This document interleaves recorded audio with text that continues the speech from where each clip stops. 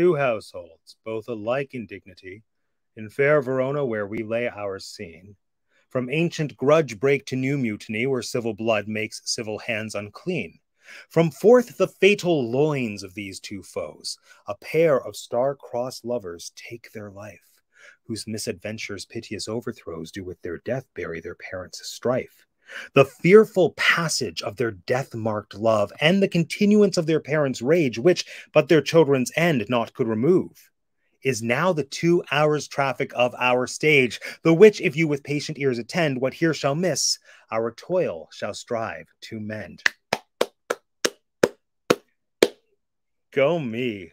Go me. Hello, everyone, and welcome back to the Teacup for One movie marathon. My name is Matt, and I have two degrees, and I have been waiting for this month, for this movie marathon month, for well over two years. The timing just never really worked out, but you know what?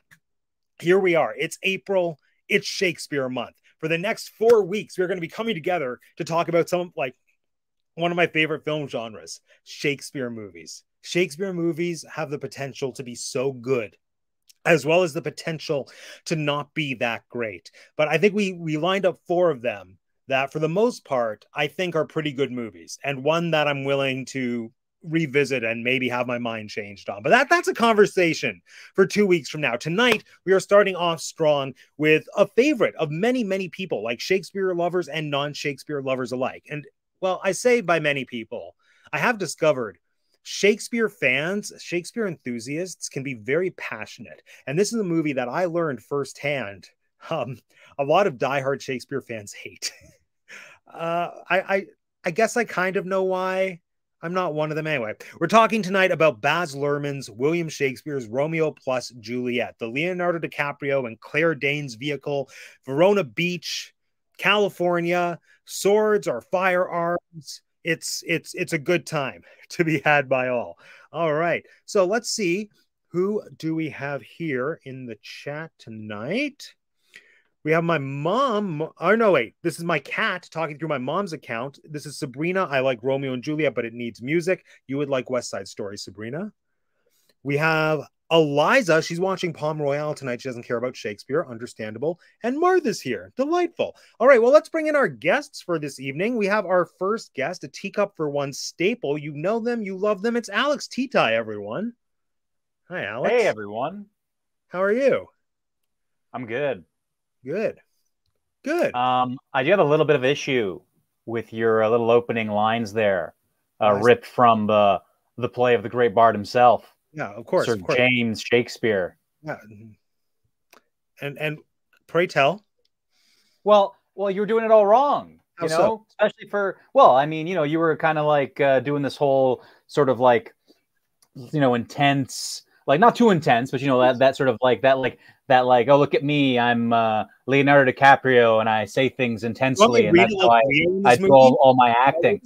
But, uh, but that's not the way you should have done it. You should have done it like a newscast, like a newscast uh, report, right? So, dear uh, friends, Romans, countrymen, welcome to dear Verona. Uh, I'm just standing outside of the uh, building now. Uh, looks like uh, Juliet and Romeo are going to be here, um, and uh, yeah, things did not go down that uh, that well, Ooh, folks. Uh, looks like there's a bit of blood, not too much blood. In fact, there's this movie is lacking lots and lots of blood, in my opinion. Um, but you know, a little bit of blood and uh, death and woe. Uh, such is the tragedy tale. Back to you, uh, James uh, Shakespeare. Did you even watch this movie? The the newscaster was so solemn. She's like two households. Well, uh, forgive me. All right, I I was going to uh, going to provide a you know more apropos, accurate, uh, you know, uh, simulacrum uh, performance, but uh, you were you were interrupting me and uh, and and egging right. me on, so I just I just kind of no, it was it was a good inform my delivery. Fine, it was it's a good performance. It was a good performance. Um, yeah, yeah, yeah. We're done here with your introduction. Let's move on to our next guest for tonight. We'll have more. I, am excited to hear what you have to say, Alex. But let's uh, bring in Jeanette. Everybody, look, it's Jeanette. Hello. Hello. hello welcome. Hello. Welcome I, back. Yeah. So I got distracted both by I thought you were about to say something. Then Yoda for Mark chimed in. I like Romeo and Juliet Taylor's version, three and a half minutes with a happy ending. Yeah, Taylor did write. I I'm so tired of Taylor. Anyway, Oh. whatever. I kind of am too, but There is. yeah, Taylor Swift. Oh, I could. Pre- I prefer more Taylor Kitsch. Uh, he played a fabulous uh, David Koresh, much as Alex would play right now. Um, uh, possibly, Probably. possibly Tom Hanks in Castaway. Um, yeah, yeah, good oh, job. Get it. I get it. All right. Yes. All right. Yeah. Yeah. Yeah. Apropos. Uh huh. Anyway, yeah. Jeanette, what is your favorite Romeo and Juliet adjacent movie? Like non-direct adaptation, but I'm thinking like a West Side Story, a Gnomeo and Juliet. Um, Fern Gully. Fern- Is that a Romeo and Juliet? Really? It's not. It's just two different worlds coming together, and I couldn't think of a better one that I actually enjoyed that much. Can I say Into the Heights? Yeah. That's Wait, not Into really Hi, Into the Woods. sure. If that's on the table, I'll take that one. I don't. I don't find a lot of things that are Romeo and Juliet inspired are not my favorite things, uh, and we'll find that out through the course of tonight. Uh, I find them. Yeah, I think I fall on the side of the adults. oh, in This one. I mean the adults are right. Let's just get that out of the way. or not even the adults just just the just the preacher guy like you guys are stupid but if you're gonna do it fine Yeah, well, actually, all the adults have a lot of issues in this, but it's because of them that, like, the kids who have just listened to their parents. No one would have died.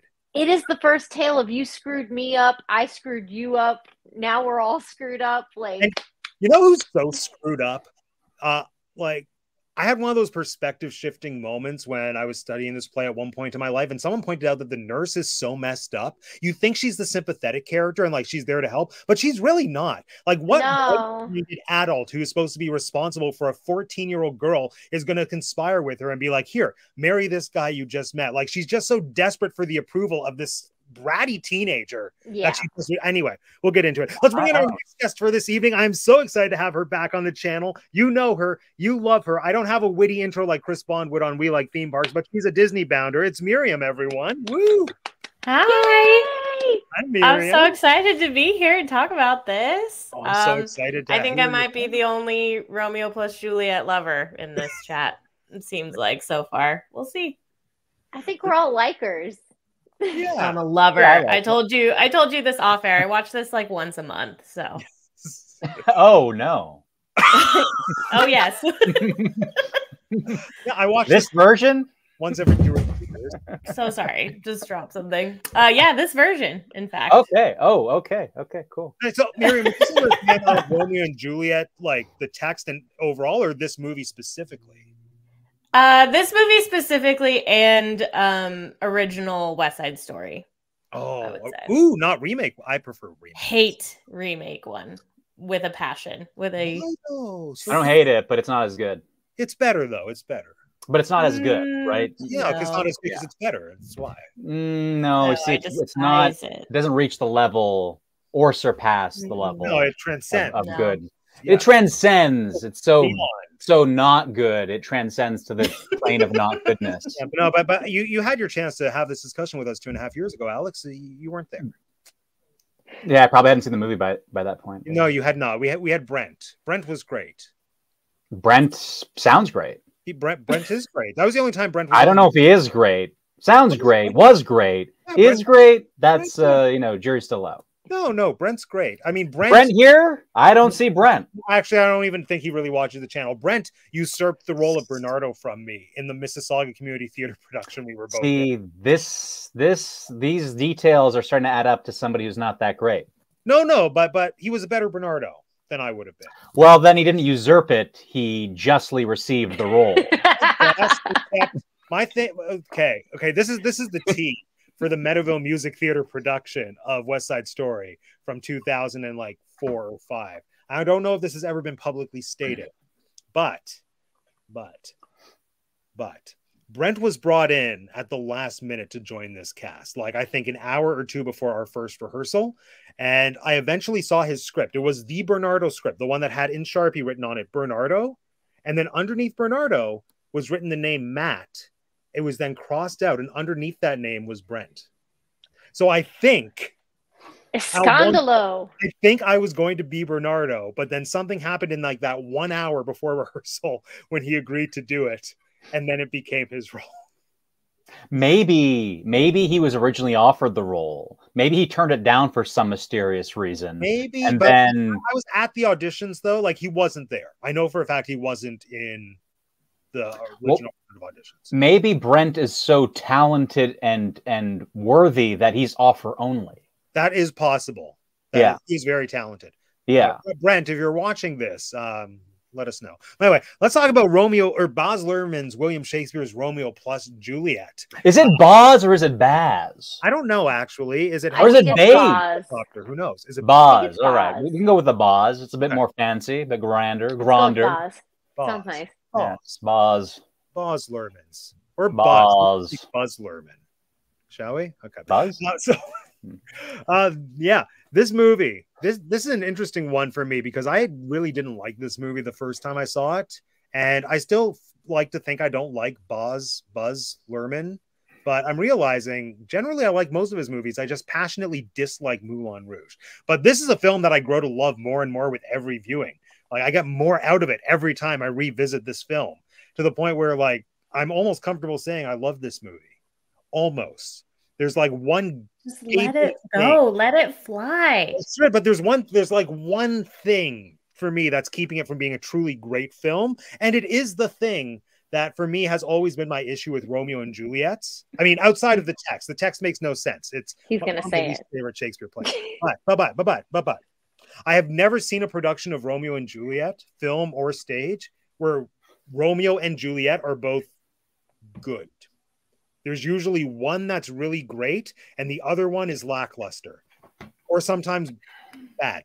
Um, I've yet to see a Romeo and Juliet where they're equally balanced and both really great, and this is no exception. But we'll we'll we'll get there. Um, let's uh start with our opening question, which I've kind of already moved to, which is: Do you remember the first time you saw the movie?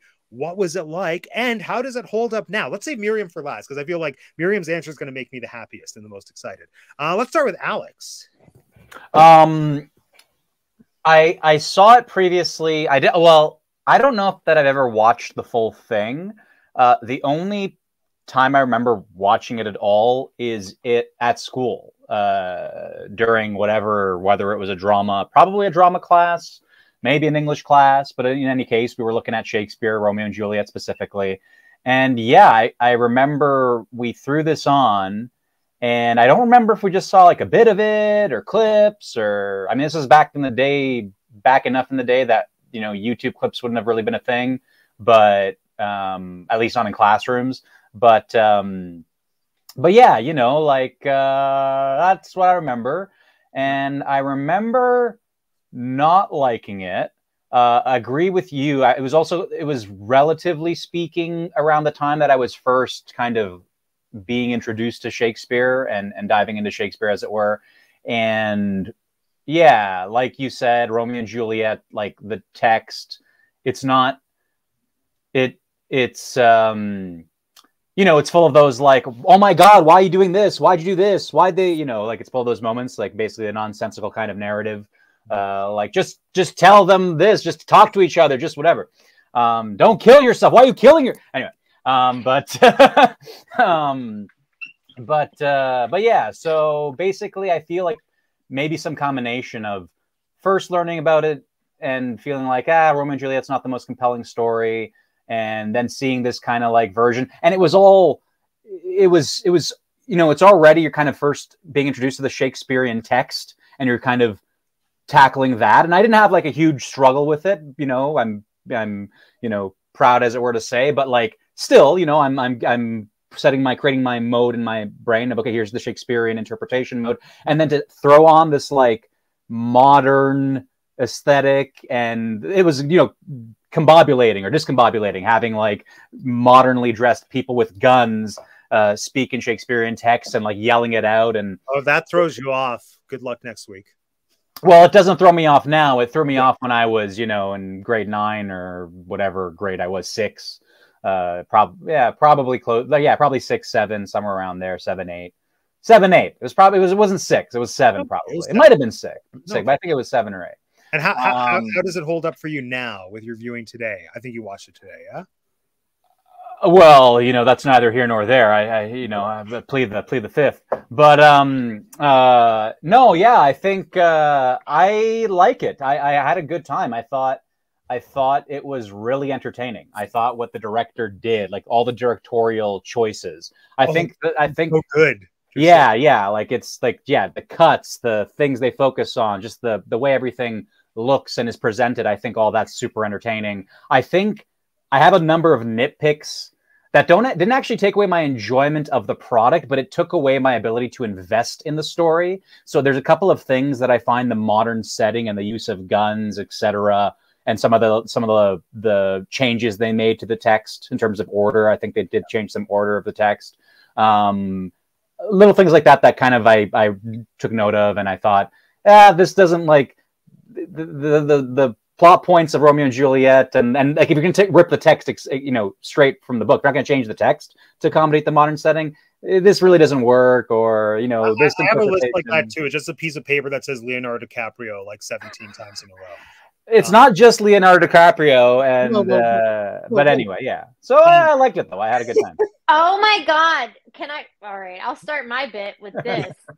For the first time in my life, I felt creepy watching anybody make out on screen for the first yeah, time in that was a little. life. Yeah, that was a little weird. I yeah. was like, I don't know, guys. Like they're in a pool and they're half naked, and I'm 36. How old I are they? How old were they? Don't Do you know.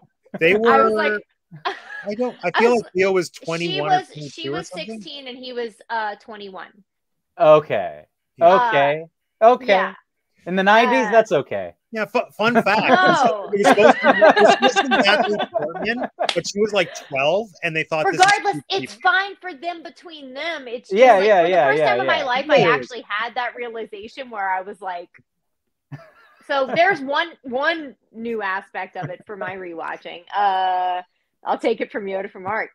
Um, my my first viewing, I loved this movie. I was obsessed because I was 11 and Leonardo DiCaprio and Claire Danes, and I didn't know I was bisexual yet. So, yay for me! It was just great. When you're 11, that's okay. That's how Vince felt watching Footloose. I was 11. It was okay. So yeah, uh, but yeah, I loved it. And then every rewatching since, I've been like, artistically, I love this movie. Mood and theme wise, Romeo and Juliet has never been my ish. So, but that's you know, I also don't like chick flicks or a lot of super romance focused stuff that doesn't involve the supernatural or blood or things like that. So, admittedly, as I grew older, it wasn't going to be in my bag anyway. Uh, I that said, I loved it. I love rewatching it. Like I just, it's not my story, and it always frustrates me at the end. That's just Romeo and Juliet. That's how it is for one reason or another. I'm just like, you guys are crazy, but these adults are also crazy. But these two adults in the in between it's also a class statement like if you don't get super rich you don't get super crazy like i you know like there's a lot of things that can be taken out of this and i can see that more as i get older whereas when i was younger i was just like sounded cool sounded awesome thought that's how love went got to be about 16 and went don't do that so yeah that was that's about i just i do love this movie visually like to me it's it like almost untouchable. Uh, I'll we'll speak on it later, but the cinematographer, the cinematography, both amazing. So good. Agreed. Hard agree. All right, Miriam, let's hear it. Tell us about this movie. Tell us about when you first saw it. Tell us about what you love about it. Just let's go. All of it. Uh, yes, this movie came out when I was 10, but I wasn't allowed to watch it because it's crazy. so my parents, I think, saw the preview with all the guns and they're like, no. So I didn't see it until ninth grade and um, changed my life. Uh, we watched parts of it in an English class with the best teacher I've ever had in my life. She hated this movie. And so we only saw the clips that she hated. She didn't show us like the stuff that was good. She only showed the parts that she made her really mad. So of course it made me go home and watch the watch it. And I was like, no, you're wrong. This is the best thing that's ever happened. um, this movie influenced my love for hair and makeup, for costumes, costumes in my real life, like real clothes. The story that's told just through the fashion of this movie was life changing to me. I think about the opening scene with the boys at least once a month. I don't know what it is about that. It's so dynamic though. And there's always like like these books I'm reading right now. There's a group of boys, and I'm always thinking the boys, the boys, in the beginning of this movie. Like it's just like an impact to me for that. Um, yeah, I don't know. I've just always loved it, and I- think like all the criticisms we have for the story of Romeo and Juliet. I don't know. I love romance and things like that of that nature. I have never looked at this movie and thought this is a romantic movie ever. I've never looked at Romeo and Juliet. I don't think people think this is a romantic thing to do or a smart thing to do. Maybe the time it was written when actual 14 year olds were getting married, they're like, oh, this is romantic. But any other context outside of William Shakespeare's actual timeline, everyone I know that enjoys this play and likes this story has never been like, yeah, that's a great ending and really smart and this is love. I don't I even at 14 when I watched this, I wasn't like, that's love. I'm like, you idiots. You could have thought of any other way. Also, Friar Lawrence, go to jail. This is the worst plan ever. Like, you're gonna pretend to be dead. Like none of this makes sense. Just steal her in the middle of the night and take her to Romeo. All Hey, of this it was solved good enough for Sleeping Beauty. yeah, it's so stupid. So, but I I knew that from the beginning.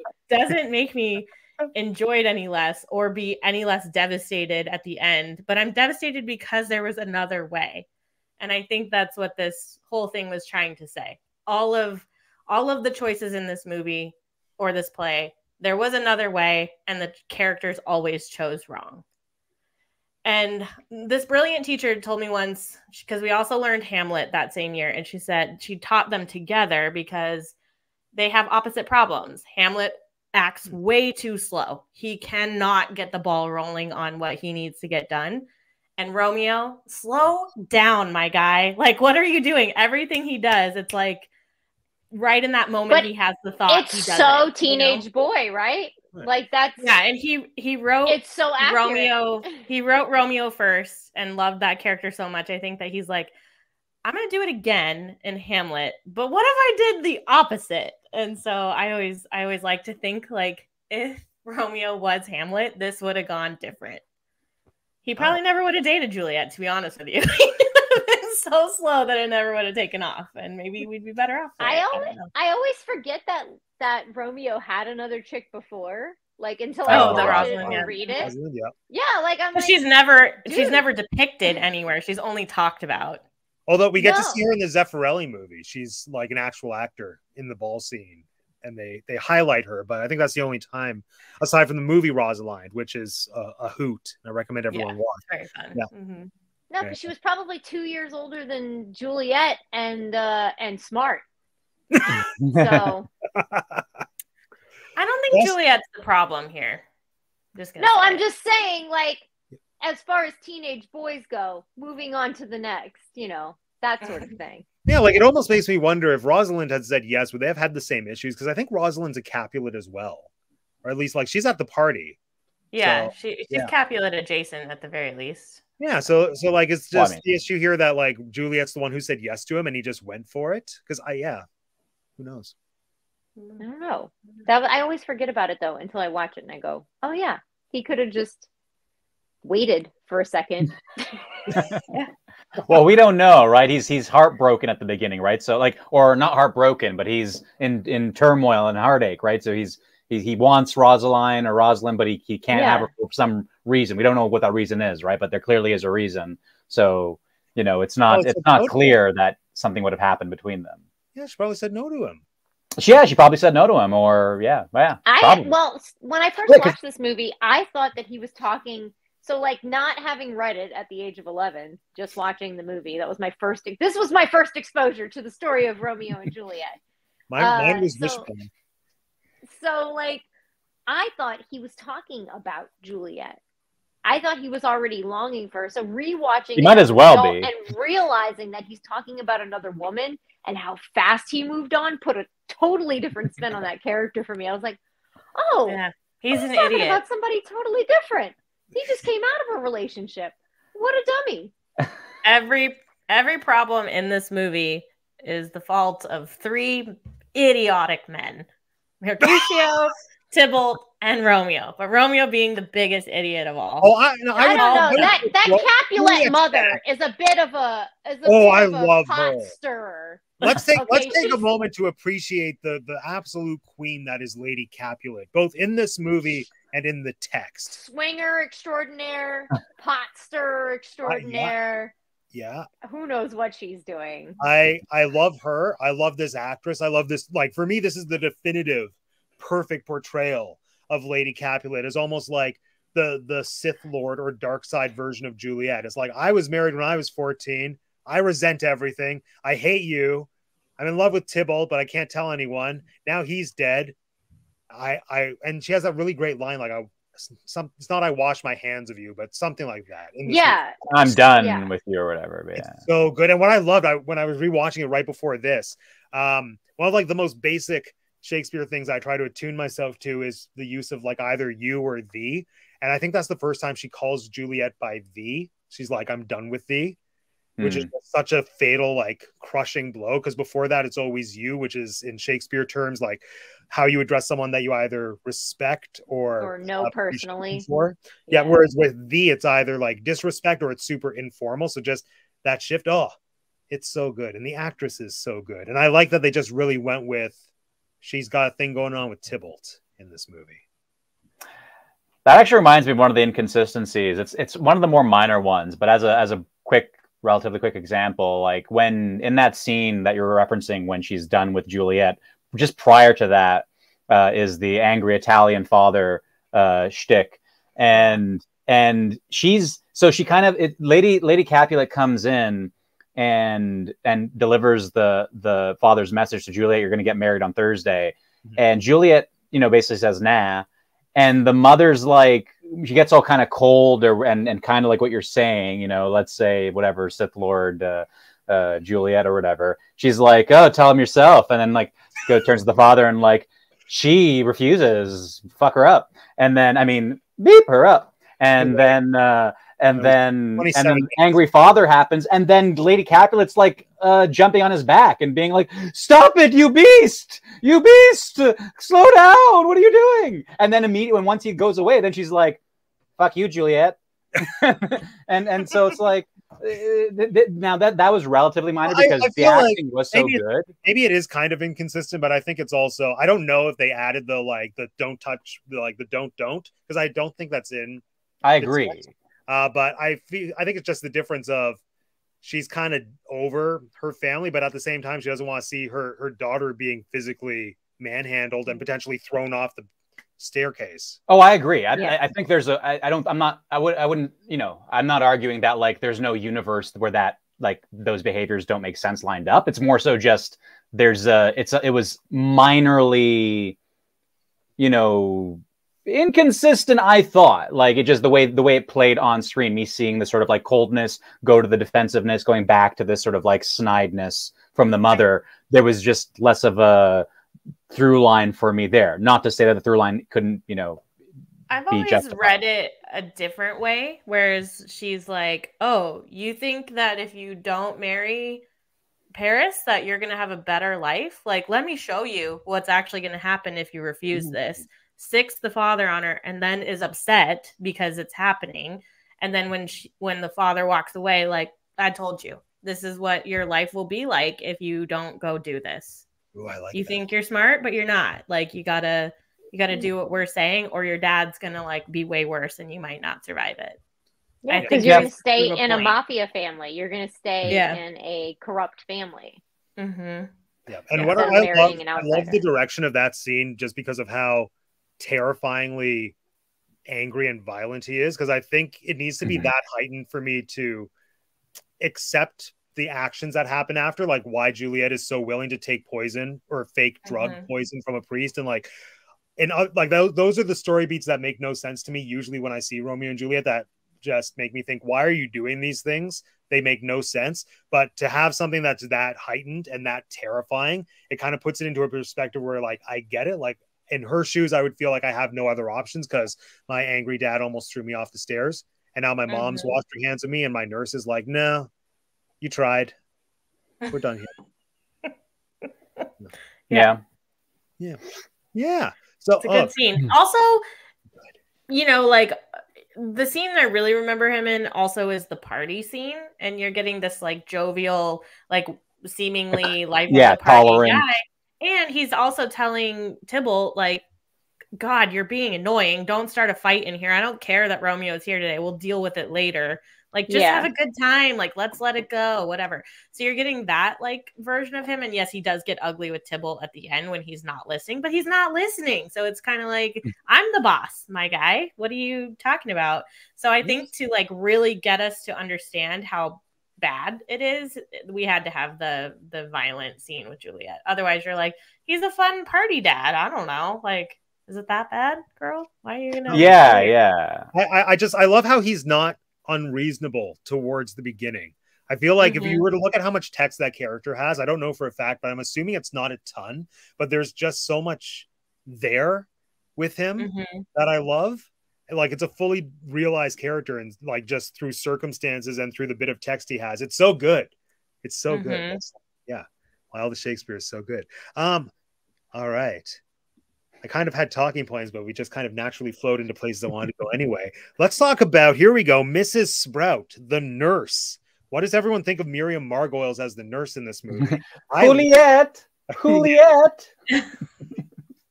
I like. I, I Oh. question if that's if if it is it a stereotype? Is this an inappropriate portrayal? Who knows? Maybe. Yeah. Who knows? I mean, it's it's But I still really like it.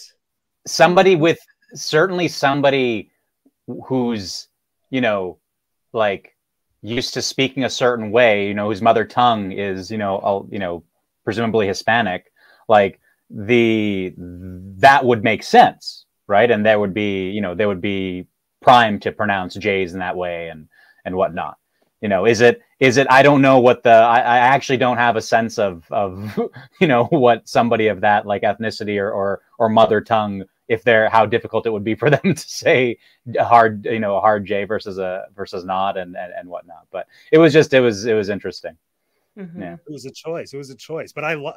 I just love how fully realized her character is, even if it is likely a stereotype that maybe it's offensive. I don't know if it is. I feel like it might be, but she still really finds the humanity of it. I think, and the, like her command of the language is just so good. I just have this thing where I really like hearing Shakespearean text delivered in different accents and different dialects, like, um, like. Well, you don't really have it in this movie, but there are some TikTok videos where people do it in like a southern accent. Yeah, that's going around right now. Like that, it like the iambic pentameter. Like you can actually understand it and it makes sense. Like with the cadence of a southern accent, Oh, like it's Well, easier Southern- to pick up on. Southern is most directly like Southern accent is either most directly related to French or British, depending on what part of the South you're from. Mhm. So, like, if I had a Southern accent, it would be French. Like, my mom has a, you know, that's the one it would fall under. But then certain, like, the Carolinas fall under like a British Mhm. sounding uh, dialect. Yeah, they so were- that's where it derives from, anyway. What I watched today was saying the closest match is Appalachia, is the closest go. southern Yeah. accent to So, um like the mid-Atlantic Southern states, like that, I don't even call Southern. Like they're they're Mhm. mid-Atlantic. yeah. Um, yeah, that would make a lot of sense. yeah there's just there's such a auditory beauty i think to hearing like that heightened text in some type of some type of accent like whether i think we're also used to hearing it in british because of like because shakespeare england but like even the spanish accents we have in this movie or even benvolio's like californian like surfer douchebag accent kind of works for me. The only yeah the only one i don't like is leo and how he speaks but yeah but no on, on the subject of the nurse i really liked her. I i, I thought uh um i thought the actor did a great job of like portraying the um the various like goals or things that the nurse was dealing with at any given moment, right? Like in the first, in the first, not the first time we see the nurse, but you know, the most of at the beginning, I think she's just like harassed, like just Juliet, what are you doing? Time for night time or whatever. But uh, when she's when she's gone, sent to to chat with uh, Romeo and report back, right? That whole scene, I thought that was a really interesting scene. Like on the one hand, it's kind of ridiculous, and if you if you literally kind of track it, the, how how how kind of um there's like this competing these competing things where like on the one hand the nurse seems like she wants or she's fine with communicating the message and and and and providing Juliet with what she wants. On the other hand, she has, I guess, in that particular scene, she has this sort of like this uh you know this i don't know this like self-righteousness or something where it's like i've just like i'm tired i'm not your like errand woman i'm not you know i'm i'm i'm uh don't just treat me like like you know have concern for me as i don't know a human being or as a, a servant not just as the the the voice to to the information that you're seeking for. Anyway, but I thought you did that really well. I thought, and then I and I, it was like in spite of how I find that text to be incongruent or or in or just contradictory. Uh, I, I found myself like being okay with it because of, of her delivery, and and that stands and kind of because then later on she has the whole at the end her like last scene or so she has that whole thing where she's she's talking about like how good of a match Paris is, you know, and and sort of like Paris is better than than Romeo, and if not, Romeo's dead anyway. So, and I just find, yeah, there was something where again the text to me is is almost contradictory at these various points, but I found her delivery of them. Uh, I, I think the thing with the nurse is that she is like the self righteous um, element that you mentioned. I think is exactly the key to her. Like I feel like everything that she's doing is just to make herself feel like she is still of importance to Juliet.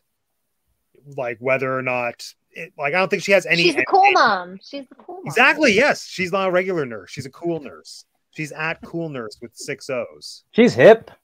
Yes, exactly. She's with it. on the TikTok. well, let's let's dial back. I want to dig back into the costumes, which Miriam kind of mentioned towards the beginning, because especially in the costume party scene, is let's just talk about that scene because I adore that scene. The party scene and everything preceding it with Mercutio is maybe when the movie's at its best, but I don't want to say that because this movie has a lot of really great stuff going for it.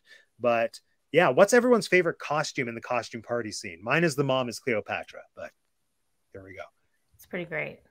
It is. Well, I'll go first. Um, first, we got to back up a little bit before the party because the costuming in the boys' scene is so perfect.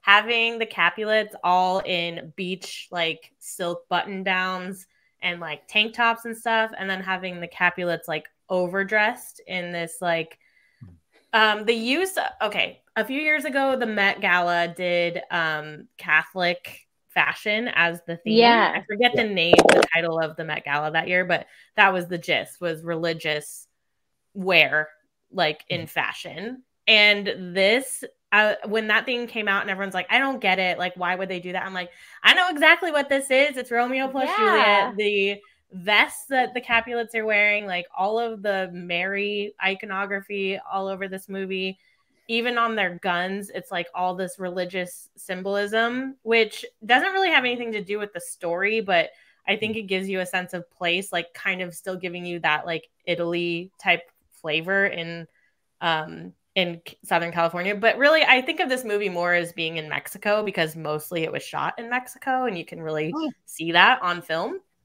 So it all works for me. But um, having them like so different, and that's how I kind of view the Montagues are kind of like just absolutely out of their minds, like doing things really quick and they're really casual, right? And the Capulets mm-hmm. feel more calculated to me.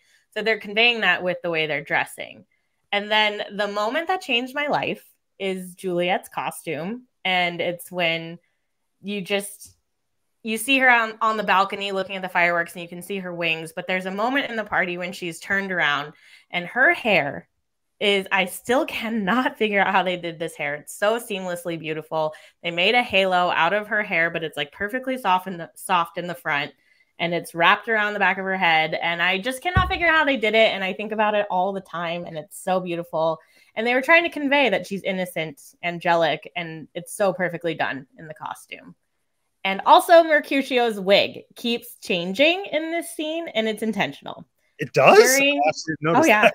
Yeah, during when he's giving his whole speech about um the dreams, Yeah. it's like it's a close cropped white um, you know, curled wig, Mhm. but it's very short. And the closer you get to him and the more he's unraveling, like they change that wig within that scene. So in the beginning it's like it's it's kept and whatever, but as he's going more and more crazy, the closer they get to him, it's like all frizzed out and it's like messed up kind of. And then when Leonardo Cap when Romeo is on drugs at the party, the wig is longer and bigger. And it's because the scene is heightened with him being on drugs. He's seeing Yeah. everything bigger, better than it actually is. And it's shown with Mercutio's costume. And it's brilliant. It's so good. And then when they're leaving the party and he's coming down off the drugs, it's back to normal. And it's from the first scene. So I love that. I've never noticed that. That's amazing. hairstylist, that's all I can think about. it's ruined movies before, but not this one. Oh, that's So, incredible. Those are my favorites. Nice. I also just love I love you mentioning the hair because my the you had the post on Instagram which I reshared that my mom saw it and she essentially said that like all girls had more or less the same experience in the 60s with Olivia Hussey's hair, whatever that looked like. oh yeah. In. Romeo and Juliet movie. It just seems like every generation has a Juliet hairstyle that changes their fashion and their hair uh, goals moving forward, Mhm. Yeah. is how it should be. Halo's made of hair. Halo's Yeah. made of hair. And if Uh, you you- watch the pool scene, when she falls in, all of a sudden she has the halo going into the pool, but all of a sudden it's like all down and perfect. And I'm like, that's not true. It would just be like It would look like a soft Be ruined Halo. Yeah, it'd be Because like, when she goes it'd into still be the there, pool, just like parts of it happens, hanging she loses down. her innocence, so she loses the halo. Yeah. boy, If only all of our hair looked like that in a pool. It does. Oh, totally unrelated to this. Well, kind of, but also you said pool. I thought about how extravagant their house is. They have like full out public bathrooms in their house. There are urinals in the Capulet mansion. And just Yeah. watching the movie recently, I thought that's my new life goal. I want a house that's so big I can have public bathroom facilities. you don't need a big house. You can just just make your house a big yeah. urinal. I catered at many houses that had a urinal and a bidet and a toilet. Like really. just This- people just with elevators Oh my god. and I guess not even just like- the presence of a urinal. Is that they had like three in a row and like bath. that is kind of silly and weird. Just make your basement uh, a, a giant public bathroom. there you go. Capulet's know how to party. yeah. Plus fish tank in the bathroom. Oh my gosh. Just put a fish tank in your bathroom. What's I don't see. this is Yeah. Also a wall that like The Omar knows. Correct. Omar is here. It's Omar. You don't know him. I It's I Omar. Omar. We love Omar. Omar is not Brent though. Omar, we were talking about Brent earlier. Omar knows who Brent is. Omar knows. Maybe Omar can can can you know contribute to the discussion of whether or not Brent is currently great. Brent is currently. Brent is- well, we don't know that. You know, we have we you have your word, which you know. I still talk to Brent on occasion. He's fine. Well, yeah, on occasion. Yeah, yeah. A Anyway, great occasion. Let's uh let's go back to costumes. Yoda's favorite is the astronaut. So Paris. Oh, uh, Rudd's Paris. costume. Paul Rudd's character feels so out of place in this. That's what I was gonna say. Yeah, This Paul like, so why am I here? this is this is what's so perfect about this movie is this is how good the directing is. They gave me the ick for Paul Rudd that has never before I know, right? since. And you're supposed to have I the ick bad for for Paris. You're supposed to not like. Well, well, where when where he's is the ick- where is the ick I with felt Paul bad I feel for like him. Paul Rudd Paris is so appealing. I'm like Juliet. Why wouldn't you go with him? He seems oh, nice. Oh, he's so nerdy compared to Romeo being, But an not in a good way, you know? like, not the good way. in a- like in a white in a white bread, like not even toasted. Yeah, in a way, like, what are we gonna talk about at dinner when we're married forever? Kind of way. Yeah. And then he got weird and creepy in the church on that one scene. You're like, Mm. all right, so you're boring and weird and creepy. Yeah. Which how not did, how did he get that Oh, performance out of Paul Rudd? I just need to know. Uh, So good. One Right, more thing about the very- sorry, one more thing about the costumes at this party. Um, you know, they're all supposed to like kind of reflect who they are. So like the astronaut, even he's supposed to be like everybody is enamored with him in society, and like astronauts are cool Oh, and big and whatever. But then I think where this changes is, you know, Romeo being dressed as a knight. I think that's how he sees himself. That's not Oh, how yeah. I see him. That's how he's like, I'm I'm gallons and all this. No, you're not. no, you're not. This is all this actually is a costume for you. Everybody else is believable except I mean, what's not Gallon about Romeo? I don't. I don't. I don't see. I don't. I. I don't- I yeah. think I Romeo's think it's fine. all how they see themselves, kind of like honestly, because Cleopatra is how freaking Montague sees herself. That's Montague. I right? think that they gave yeah. Julia her. Capulet, I okay. think they gave Capulet. Juliet her costume. I don't think she would have picked that out for her. Well, the Capulets totally gave her her costume. Yeah. I'm a little angel. Yeah. Yeah, no. Yeah. Well. Maybe she picked it. I can also see this this Juliet picking the angel wings, like non-ironically, just thinking I want to be something pretty, but like I want I have this really nice dress. Let me just put wings on it. Now it's a costume. Yeah, I want something who's pure and Yeah. quiet. That's, I, I actually feel that's kind of that's Juliet would be okay with that. I think Juliet, to me, Juliet's like she's she's she's like awakened by Romeo. She's not Mhm. like you know she's she discovers feelings and paths and possibilities with Romeo. But up until then, like you know, I feel she like she's born probably to be what her parents made her. yeah. Up until I mean, I know we have the whole like she doesn't seem thrilled about Paris in the first place. There's like discernment there, but yeah, I don't know. We don't have enough of Juliet to to kind of go either way. Yeah. You know, Like, do we think Juliet is actually into Romeo, or is it just because she feels pressure that she has to marry this other guy, that she has to marry Icky Paul Rudd, and now he's just another option? Is like, here's someone who's not Icky Paul Rudd. This is me trying to claim independence. And what a statement What's it about the times, too. Let's just say, because Paul Rudd was the Leonardo DiCaprio until Leonardo DiCaprio came along, Yeah. and then he Mhm. was the Leonardo DiCaprio. So, Yeah. very telling. I kind Yeah. of wish Paul Rudd played Romeo in this movie, um, but I think they were That's also just- trying to show like how much older he was by putting him in the astronaut suit. Like he's old enough to be an astronaut. And Romeo isn't. You know what I mean? Like yeah, yeah. Think that's they were trying to show. Like Juliet was about to marry someone much older than her, and that is just yeah, as the as the times right. There's a line in the, there's a line in there somewhere about like um I think it's the mother and the father or the father and somebody. Is it the Mhm. father who says like let let her like two more summers until we can spoil Yeah. her or whatever? Mhm. Uh, yeah, Because she's Um, 16. yeah, She's yeah, not yeah. yet 18, yeah. she's 16 and uh, she's in the in the text. play, she's 14. was fourteen. I think she's 14. In yeah. the play, she's 14, but in the movie, they say it at some point that she's 16. 16? Okay. 18.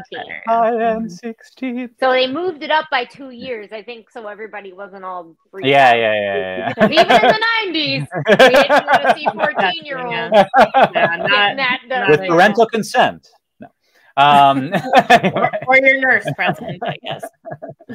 um yeah yeah there's a great there's a great i, I love the uh, what satisfaction canst thou have line in that uh, Mhm. sequence after the costume party when Romeo Yeah, and Juliet are, are chatting. She like spikes. She, Yeah. He's like, "Will you leave me unsatisfied?" And then she like clocks him. Like, Yeah, like what? do- What, Yeah. what the hell do you mm-hmm. think we're gonna do, Romeo? what do you? No, it really was. is- I was like, wow, that was big of the 90s. yeah, I was like, "Oh Kudos shit!" to you, girl, Yeah. for saying that, for spilling. Yeah. So, Yeah, because since I think in the original play it was like, "What satisfaction wouldst thou have tonight?" And then in this one, she's like, "Ew, what?" Yeah, yeah. It's an example of Claire Danes succeeding at taking the text and making it feel modern and infused with life versus Mhm. Leo, who did Yeah.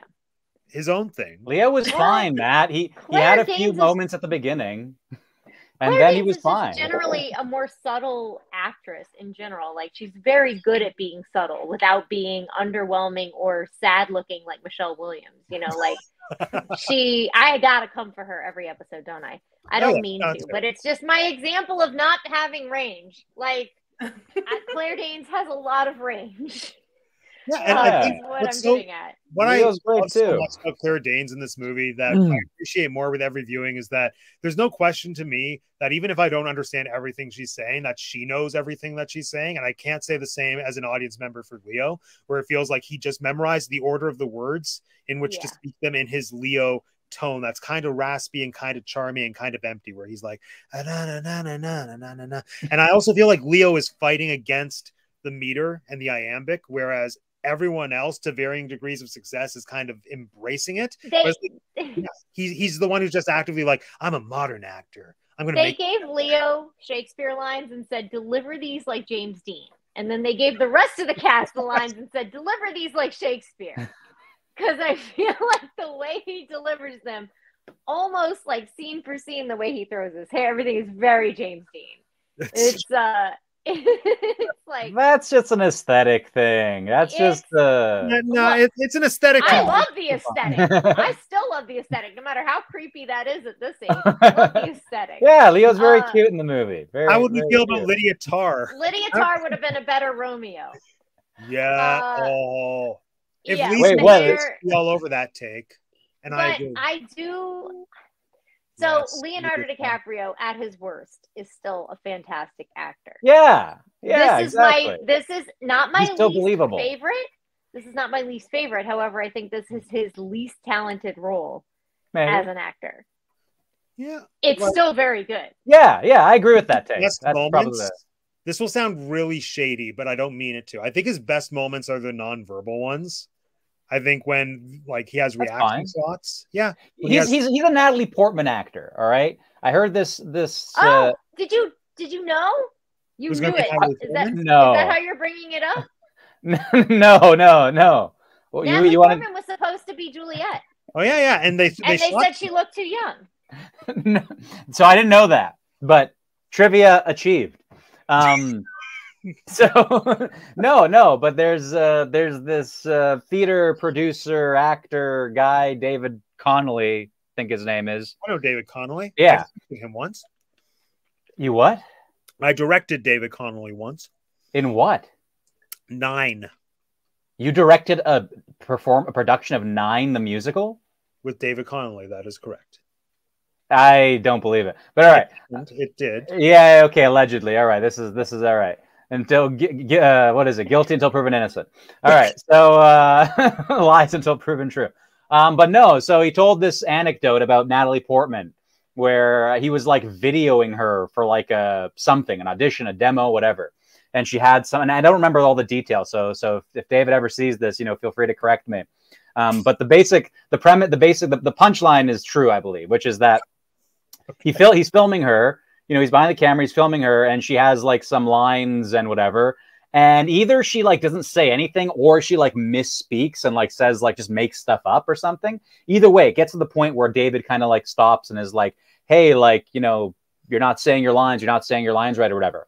And then Natalie Portman reportedly, uh, you know, retorts and says something to the effect of, "The words aren't important. It, it's the eyes. The eyes are all that matter." And and and and then it's that's that was his like mic drop. Like well, the mic drop moment in the story, the anecdote was, and you know who said that? Natalie Portman. But um, but the point of the story is that Natalie Portman, as an actor, believes that lines aren't important, and that what's important is for an actor is to it, it's it's it's expressing the emotions, right? It's it's making the audience believe that the actor is going through what they claim to be going through, whether it's due to the dialogue or whatever. And I believe that DiCaprio is that kind of an actor, and this movie kind of emphasizes that. Where like he's not, yeah, he, does he do great with the Shakespearean text? No, but it doesn't matter. We believe Leo.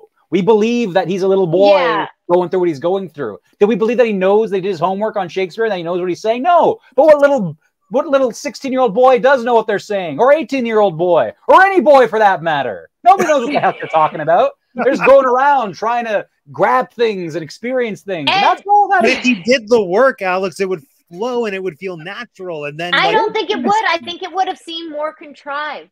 I Exactly. think the fact that his Americanness hmm. came out in this America. because of the way Baz Luhrmann was depicting it was okay. I guess, That's but right. like Claire has, I feel, equal parts Americanness, and it feel like when she speaks, it just seems so natural. It flows. It's like, Because she's subtle and soft, Yeah. and sweet, and She has the everything's gonna soft-spoken seem quality. more lies out of her lips. You know. Exactly. There's so much happening in the comments. Hold on. First off, Vince believes me. I can't remember the name of the actress who did the Penelope Cruz number, but she is very good. She had a broken arm at the time, and she still did it, and it was great. Penelope yeah. Cruz wasn't in this film. No, in nine. Oh. And then saying Claire Danes crying at the end is iconic. The ugly laugh makes him cry. Uh, okay, we'll get there when we get there. Oh yeah, she's an ugly crier. Leo's a pretty crier. No, Leo's pretty when I cries. cry you stars. That's ugly crying when he's like, He's not really crying there. He's like he's proclaiming. He's he's desperately and sadly proclaiming. But when he's crying with Juliet, he's beautiful. When he's lying there and on her corpse, and he's all like, "Oh, he's a, he's so pretty." Yeah. He is beautiful. Her cry defines petulant child. She looks Oh, like a toddler that has had her candy taken away. Like it just looks so I I don't get what I want. Uh, like her cry is so Uh, that is that's the end of the ending for me. Like I that's the part when I watched it, I was like, oh yeah, she's really annoying right here. I love her the rest of this movie. Takes I courage, totally it disagree. takes courage to do the ugly cry. Yeah, that's I, I feel it's say. not I think courage. I think it was a really real take, and they Yeah. just put it Yeah, in. Yeah, she's an ugly that's what crier, she- yeah. I think that's what she really looks like when she cries. I agree. I, can't control my face either when I cry. So None of us can. Yeah, it's It's a wrong. Honestly, crapshoot. I, I It's cry every time I watch this movie, and it's that audible sob that she does at the end. It kind of like like to me, Leo crying over her isn't that sad, and when she wakes up and sees that he's dying, like it's too much for me. Oh my god. So we're kind of there. I want to talk about the ending. Oh, we And, skipped to um, the end, but okay. okay. Yeah, yeah. No, well, we can we're here now. We're here now. The ending. Oh my gosh. The first time I watched this properly, like as an adult, because I saw it and didn't care when I was a kid and a teenager. The first time I watched it properly, I was shook when I realized how they chopped up the text for the death scene. And it's one of Yeah, my yeah, yeah. favorite things about this movie. And I think it's like bleeping brilliant that you go into this everyone knows they're going to die at the end. Even within the text like at the beginning they say they're going to die and there's all those little moments like spattered throughout when they're like i feel like i'm going to die from this love and like it's no secret. But then they still find a way to shock us by doing that editing so that they can mm-hmm. have like a brief moment together which is just so heartbreaking and Yeah. so good and i didn't realize how well those like chunks of text fit together as a conversation just because it's written to just be speech and speech but like oh it's so good that's all i have to say about that feel free to weigh in if you agree or disagree but i love it I think it's a better ending than the play where she wakes up and he's already dead. It's you get the gravity of what they've done so much worse by her witnessing it. Honestly, um, It, it is it is more frustrating, but it's also more powerful. I mean, you know, he just keeps looking away every time. Like he's at her hand and her eyes open.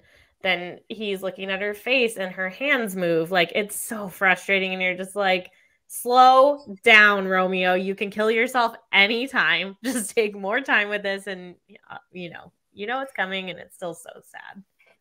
Also, walking into that chapel, that's another moment in my life that it's like, oh, this is what I like. The like Yes. neon lights around the flowers. It's so 1996. It It's reminds me of the Madonna uh yeah, it's so uh, beautiful. like a prayer or just a prayer, whatever, like that music video. yeah, I was I don't know how he. I don't know how he climbed. I don't know how he climbed into her like deathbed without lighting the whole chapel on fire. the amount of candles around her is scary. but maybe it's just like a low It's so budget cremation plan that they have I don't know. Oh, Uh, can we talk about can we talk about this for a second? The the slight I know there's a lot of realistic incongruities in this movie. Uh one I think Alex was portraying was the lack of blood with all of the guns and knives, but the other one was this child is dead. Not only is it the same day, but she's not embalmed. Are we She's not embalming people now? Because they are. Yeah, she's not showing up in investigated. There's no autopsy. There's like no. they show There's the no. police showing up the next day. They show like news report, like all this modern-ish, but she's not Yeah. involved. He's like, your Yeah. are still so gross. Like your your liquids have not been sucked out of your body. Yeah, yeah. We don't So, know what happened. We're just gonna put you here. mate. Don't know. People just die sometimes the day before their we wedding. just let them rot. On, we just let them rot on the table. Rot in the chapel. We put them out around a bunch of hot candles and Yeah. let them rot for yeah, a while. yeah, yeah. We don't we investigate. We don't check. No, no, may- This is- Don't open this up. a- This is a mob family. I feel like they just get to do whatever they want. No one Yes. asks questions. They're just like, okay, That's yeah. this is what they That's do. the best explanation I've heard. To It's a Yeah, mob. they're But then, like, uh, don't give us the were like really weird. photography.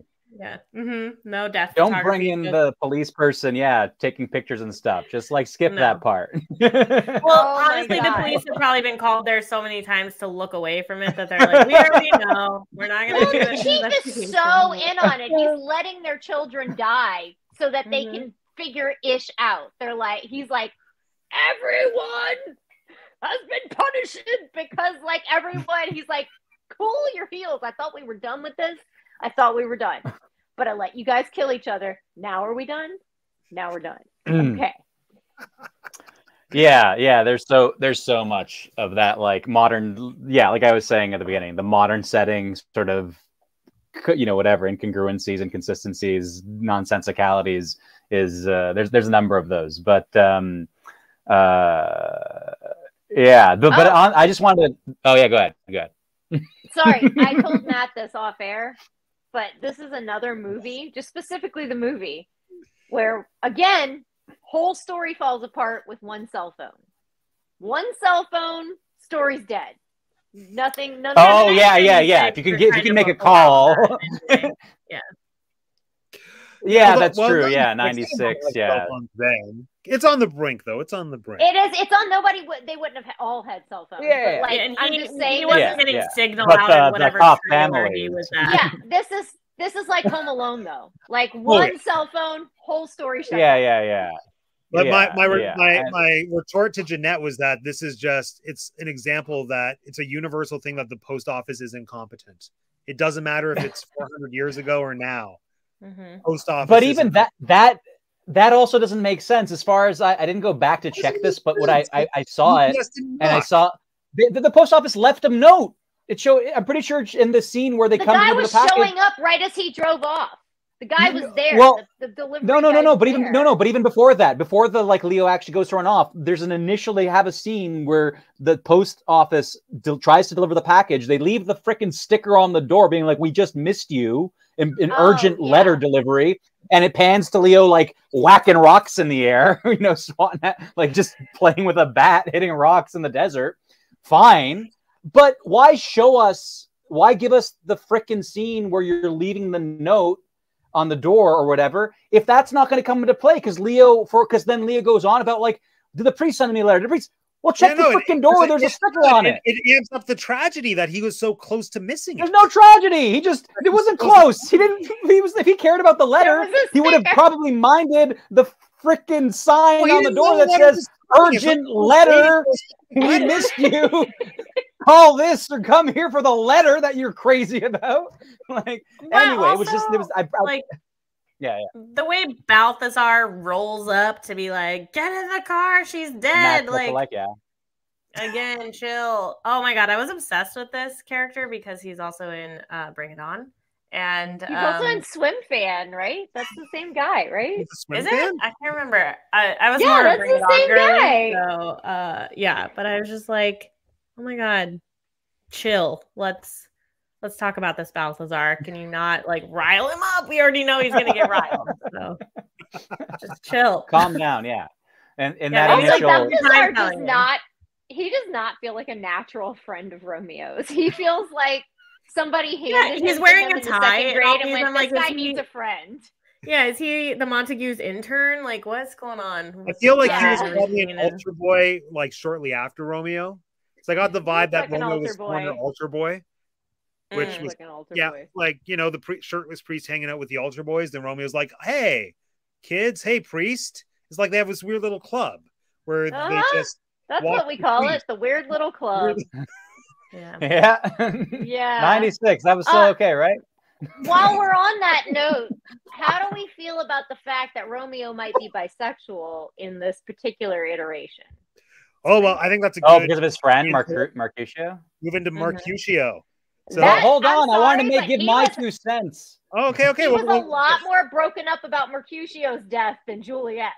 I'm sorry, like he gave a lot more emotion about Mercutio than he did He's about. known him a lot longer. He's known. Well, and he Juliet was for, and he was there. Hours, he, so. he watched him die, whereas with Yeah. Juliet, he kind of he he defies the stars. He drives Mhm. there. He walks slowly into the chapel. This There's a lot of time and processing happening. With Mercutio, he's just he's right there, and he's like, "No, you're gonna live, buddy." And he's like, "No, I'm I'm dead. Screw you.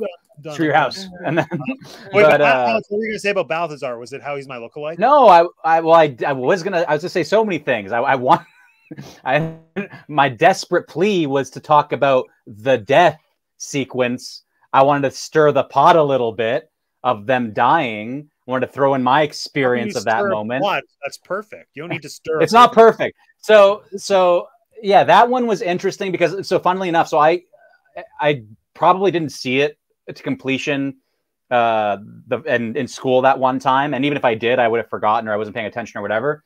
But so i didn't know what the ending was going to be like. Uh, and, like i knew i know the story of romeo and juliet but Hmm. the way once romeo is with juliet and juliet's starting to like move and stuff i was like my brain kept thinking like i didn't know what the movie was trying to do. So i was like are they going to wake juliet up and like are they going to be happily ever after? Is that the movie's twist? They're going to like subvert the plot and give us a happy ending? Um and then they you know they they kind of so so there was like that moment i was like like okay okay. Anyway long story short i i like i thought the the it does make like the the, the giving them that moment and having juliet witness romeo dying live in living color um does make that moment even like it amps the tragedy. It's already tragic if they just miss each other by you know uh, a second as is originally written. This is even more tragic um and it did. It like it it penetrated my my void you know empty heart. But only for a Alex's heart grew second. three sizes that day. Only for like a second it there wa- it hit me like a, a moment and then i started like crying. acknowledging what was going on. And it's a it's a weird moment for me basically. Like basically my point is is that i can see it believable in one way which is and what i'm referring to is juliet's lack of epic reaction immediately right? Like juliet's kind of bear, juliet witnesses and then him drinking poison and then this like horrible moment happens where she's staring at him and i'm like holy crap this is terrible and I guess you can spin it as like, okay, she's like kind of she's recovering from the thing. She's shocked to see what she's happening. She starts going through the rationalization of, oh, like uh, I guess I can die too, and everything will be okay.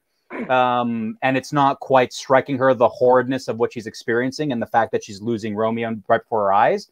But that's by the same time, I don't like I, I had problems buying it. So that that simultaneously made the moment work for me, but also made the moment less impactful for me. Of like So, I what, would- do you think that's like a performance thing from Claire Danes or a direction thing, or what? I think it's a direction thing. I think it's I think it's the lines too. Like I don't know. It might be a thing where the best situ the best like context for having Juliet deliver those lines about you know let me kiss your lips, let me get more poison, all these kind of things. It might be that a superior context that works better is to have her in this sort of like kind of shock state of shock where she's not fully taking in what she, what's going on.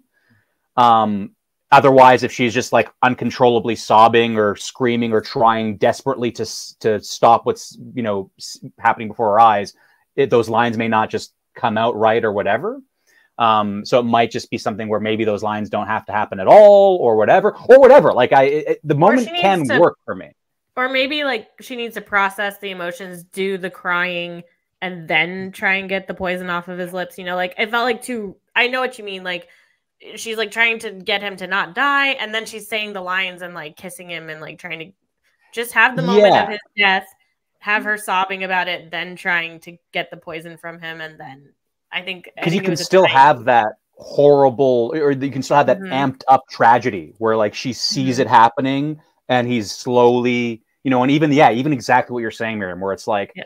You know, maybe she, there's this moment of like shock as she's looking at him, and then he delivers that last line, and now with a kiss, or who knows, maybe, or maybe she like desperately, maybe that's the direction she desperately she looks, she she goes in to like revive him somehow, like to hug him, to embrace him, to save him in that you know primal whatever base way of Mhm. drawing him close and kissing him and maybe then he delivers that line and then she breaks down and then she goes to the whole poison thing. I don't know. I don't know if that would have been better or or whatever. Maybe this was the best version and maybe you know whatever i can i can see it in that way because i think the moment still does have merit the way it is staged and the way it happens as mm-hmm. is but there was that experience exactly what you yeah, like maybe just either take that line out and let her just be in the emotions of it, or time it differently. yeah Totally, totally Yeah. see that. Mm-hmm. Well, I And- think this this scene might have been the reason that Leo. Well, although they might have already been filming, seems like this scene is almost reenacted in Titanic, except his female counterpart uh, doesn't have the decency to just uh, do it herself. As soon as he dies, she starts then screaming for help, not screaming for help before he dies. It's true. Romeo Yeah. so that Jack Dawson could run. I do think Jack Dawson is the more grounded version of Romeo. To be honest Oh. with you, it's felt For like sure. It felt like he's like, oh, this is what I should have been doing is acting like this in that movie. I think it was his Well, redo for And sure. that's the difference between Baz Luhrmann and James Cameron. Yeah, I would say Romeo as a character is also just kind of weakly written. Like they're kind of speaking to what like Matt's sort of like notion of like an, an equal Romeo Juliet thing. Like my impression, I haven't read Romeo and Juliet in a long time, but seeing this movie, like my impression is that like I just think the characters are written unequally. You know, I think Juliet has more opportunity to demonstrate complexity, nuance, thoughtfulness, and Romeo is just written to be impulsive, direct. he is the teenager in this Yeah. story. Yeah. Like she is Which a is- teenage girl. She is making impulsive decisions. Yeah, yeah. She is like the epitome of teenager. in this. Actually, no, that Yeah, makes sense. which is 'cause why I think think- back, like, yeah, most Romeos I've seen are usually better than the Juliets, but I guess Juliet is probably a harder role. I haven't paid enough attention because I don't care about this play that much outside of this movie. But no, I yeah, I agree. But I think that's why William Shakespeare took another crack at this character with Hamlet. Because he's like, "Ah, I didn't do that one right. this is crazy. Everyone was annoyed by him. I should redo it. And make him even more annoying by taking too long to do stuff. I, I, I'm not sure. Yeah, like I'm not sure if Miriam, you're like, you're, if it's like a hot take that like Hamlet is just like Romeo 2.0, or if this is like some established Shakespeare lore that like you know we're just not privy It's to. just the thing that Like- makes sense to me that my teacher told me and I can't let go of. And I'm like, it is the same character, just opposite problems. Yep. yeah, yeah, yeah. Oh. And does their their lover also die by suicide? Amazing. yeah, because because of them. they're so annoying to deal with, you know. Well, I mean, this is like the thing that I that keeps bringing me back to Shakespeare is just there's always room for things to be recontextualized or reinterpreted like that. Like now, the next time I go see Hamlet, that's going to be my exciting way to to view it. But I guess Mhm. that's let's transition back to the whole the Mercutio mm-hmm. Yes. and the gay coding, um, and whether or not he's in love with Romeo. But something that struck me in my most recent viewing was, and I don't know if this is a discussion that people have had, but I'm wondering, like, does anyone else get the vibe, at least in this movie, that maybe there was something going on between Tybalt and Mercutio, like before the movie Mhm. started, off screen? I feel like there's tension between them. If there's and I don't know, I, I painted a picture in my mind of what a backstory could be if there was something between those two, and it makes Mercutio's death scene like way better. That's all I'll have to say. It's Yeah. good. So Yeah, Tybalt is like like he's a little flamboyant in in this film. Like he's dressed well and he's he's got like, but I don't know if that's like the character actor. I'm so used to that guy like in in certain John roles. Leguizamo. Yeah. Sure, like Yeah. I'm I'm so used to him like being flamboyant and and whatnot and like extra in that way that like I don't know if that's just me picking up on him versus picking up on the way the like Tybalt is supposed to read in Yeah. the in the movie. But uh, but I mean, yeah, I could. I didn't. I didn't think that myself, but I I wouldn't have a Mm. problem with I it. feel like Mercutio has something going on with Romeo yeah, I feel like or Mercutio is desiring general- Romeo. in Mhm. general with the Montague boys. Like he's their like cool hang around guy and whatever happens happens you know Yeah, he's we also think of it as like through the lens of teenagers, right? Like this actor definitely feels older than that, but in the play, I think they're supposed to be the same age. But like, what do boys do when their main guy gets a girlfriend? They like get mad and they're like, "Where have you been? We should have been hanging out." He's like, "We do this every day. I was with my girlfriend doing something different. Like, cool it."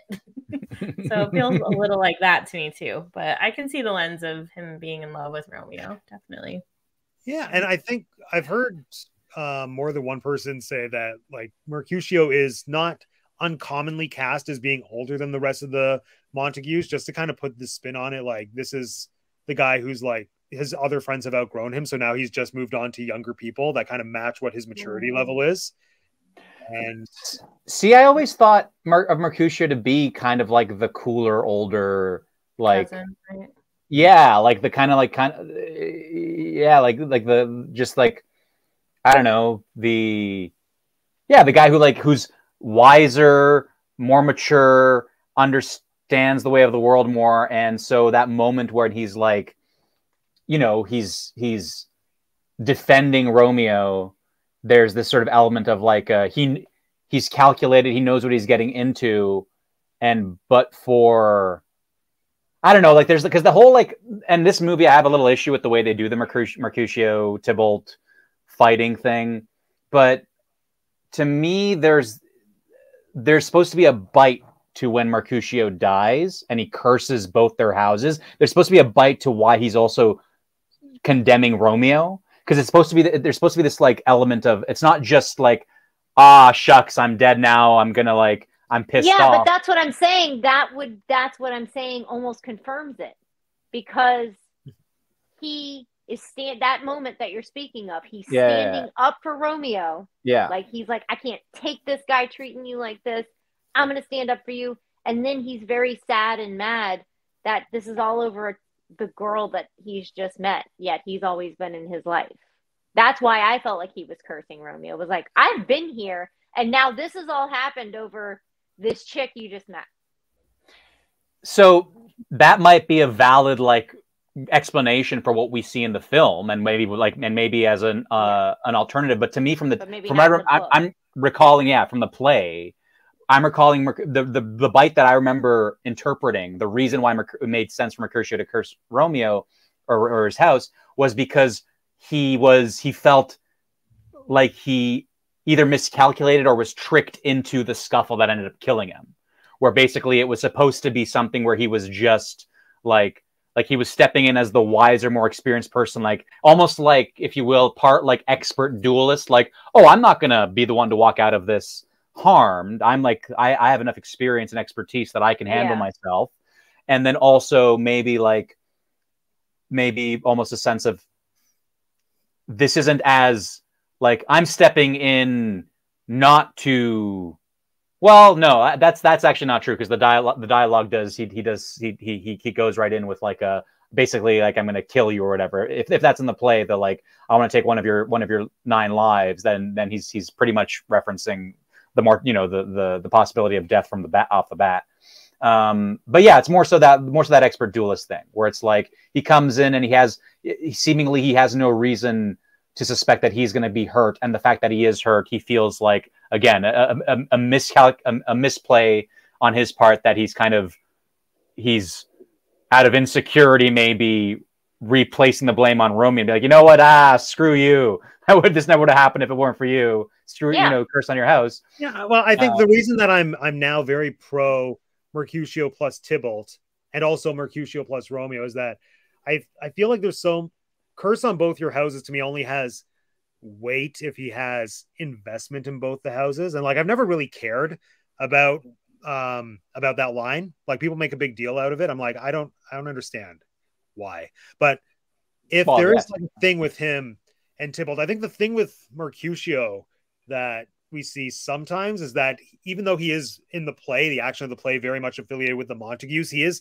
also kind of a neutral zone person. Like at least in this movie, he has the invitation to the Capulet party. I can't remember if that comes from the text or not, but he is definitely kind of in a middle ground between the two of them. And so I feel like there's there is an inherent tragedy if let's say he's either in love with or has something going on with Tybalt, and then he also has a similar relationship with Romeo. If because of both of them, that's the reason he dies, like that's really sad.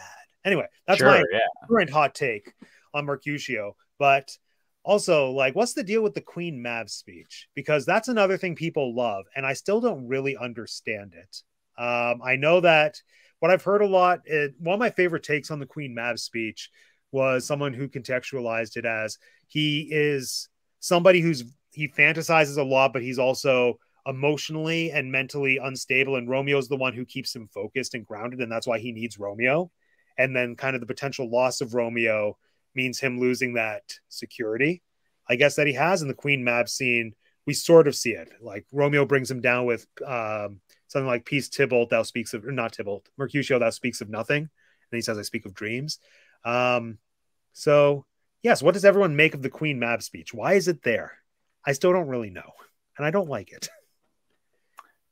Well, I always interpreted it like, and I, I mean, I, I want to say there has to be some kind of either agreed upon Shakespearean interpretation, i.e., like Queen Mab is a fairy tale character in the mythology of Shakespeare that represents this and that. Oh yeah, well, like Uh, the basic broad strokes is that he's telling a cute fairy tale that starts out really innocent, and then it gets kind of inappropriate, and then and it get then it gets uncomfortable. So he's Yeah, yeah. a happy place. He goes from like Disney Cinderella to Grimm's brothers. But I'm what I'm saying is that like because what he's basically the story. Of, you know, correct me if I'm wrong, but the Yeah. the broad strokes is that he's basically telling a story of like how men get screwed over by their whatever passions, romantic feelings, hmm. something to that effect. Like the queen, this his tale is, I you know, this dream about whatever. I don't, I don't remember the details, but that's the vague, my vague recollection is there's, it's relevant to it's there's a story of Queen Mab and the way Mercutio tells it is rel- relates directly to what we've what we see Romeo talking about, you know, preceding it, right? About being heartbroken and whatever. And he's like, ah, I see that Queen Mab Mab's come to you, and here's what Queen Mab does, and that's why it makes I'm my claim that Queen Mab came to you makes sense because of this anecdote, this story of what Queen Mab is. Um, so Doesn't Romeo also say he had a dream like right before this? And I think Yeah. the way I've always interpreted is it starts with Mercutio basically being like, "Okay, get over it. Dreams don't mean anything. Listen to this crazy story," you know. And then at the end, he goes, "You speak of nothing," and it's kind of like, "Yeah, point proven." Yeah, like that's your true. dream isn't because mm-hmm. the, the dream is really Romeo knowing something bad is going to happen as a result of the party. You see this really well in West Side Story when Tony's like, "I have a feeling something's coming." And I can't stop it, right? Like that whole song that he yeah, does yeah, yeah. that's this moment and mercutio's like oh my god we're just going to a party dreams don't matter listen to this stupid thing and it's really heightened for him because maybe he's had to give this speech to romeo more than once is what i have to what, assume with this guy so i don't know I, also he's on drugs in this movie so it's like very scary it makes sense. Yeah, it makes sense for, with the drugs in, involved. Yeah. Yeah. Well, let's talk about this. I love that actor too, by the way. Oh, Yeah. Matrix Reloaded. Uh, Omar like- mentioned uh, a little while ago, like best character performance is amazing, heartbreaking. We got to a plague on both your houses. And I know, like generally, I think the consensus is that no matter how people feel about this movie, they feel like this guy is one of the best Mercutios to ever. Yeah. Mercutio. Like, what Yeah. is like what are specific things about his performance that stand out for anyone in this chat? Like, does he have any interpretive moments that that you really like? I mean, it's really shallow, but I, I think he's really great at lip syncing. Young Hearts Run Free. When I was a kid and watched this movie, he was the character that stood out the most to me above and uh, honestly above Leo too. Like going every time I rewatch this movie, I remember him more than anybody else. Um, and I think that's just because he gives a wider range of emotion than any other character has to give in this movie. Like he has to Yeah. be happy, he has to be sad, he has to laugh, he has to cry, he has to die, he has to be full of life. Like this character in this particular iteration has to give so many faces in less time than many of the other characters on screen. So Yeah. that's He's stands out to me also unhinged in a different way than Tybalt is unhinged, and he had to Mhm. make that distinction. And I He's don't not know evil. what it yeah, I don't know what it is. Like, yeah, I get a, a menacing sense from Tybalt, and I get a very fun party, but you don't know what's gonna happen with this guy. Like, don't push it because Which, if you've ever really fun spent can a turn full really night quick. at the gay club, totally. um also the scene where all this happens is shot so perfectly you don't like nothing they're just hanging out and he's like being a weirdo and shooting fish in the water right and benvolio's like can we get out of here? I feel like something bad's gonna happen. And if you're the whole scene is like this green cast even if you don't know what's about to happen you're uncomfortable in this scene even before tybalt shows up. So i just i always think about this scene as like it, especially compared to the 70s version of this movie this scene doesn't have that big of an impact like when it starts. You're kind of just like oh it's any other day in verona? Whatever. This one you're like no this has a very weird tone to it and it's uncomfortable and i we, we all need to get out of here. And then they don't and then it all happens right? So Yeah. The, the And- cinematography and production design and lighting on that scene mhm. in particular, in combination with Mercutio's performance, like absolutely cut cut then with a scene of Juliet like daydreaming about how magical it's going to be with Oh, Romeo. Yes. Meanwhile, they're all killing each other and she has no idea. Like Yeah. just interjecting that one little scene was like, oh my god, so jarring. And then it goes back to like Romeo screaming in a car, and you're like, oh my god, she has no clue. Yeah, this uh them killing each other that leads me to another point which is one of these like idiosyncrasies if you will of the modern of the modern uh aesthetic or setting. The guns. The the guns on the one hand they're funny and the way they're introduced at the beginning with like the, their their like designated swords like their- sword savior, sword brand. that, yeah. yeah. like it Rapier, that's so that's- funny. yeah. It's But- funny. It's great. on the Right. other hand, I did find that the how the deadliness of handguns is like it's so much greater than swords and daggers and like the in terms of the ease at which you can kill somebody. Uh and and so the way they're like it didn't quite translate for me. So like you know but like the whole even uh, the sequence where romeo like mercutio dies and then uh romeo's like chasing after tybalt and and tybalt's like kind of like he doesn't he doesn't quite i don't think he, he ever really points it directly at romeo at that moment. He kind of points it like in his direction but like so he's not committing right? There's the whole sequence. He like he like holds romeo at bay and then turns to run and drops the gun and romeo picks it up and bang bang bang. There's like that whole thing where romeo then is like immediately kind of shocked at what's happened that's a little iffy for me where i'm like you were chasing after him murderously. Clearly and and if you wanted to like like really hurt him without killing him don't use a gun. And and and this movie kind of the way they do the whole like the, the, the nonchalance and, and like mercutio in the earlier scene shooting in the air to get romeo's attention.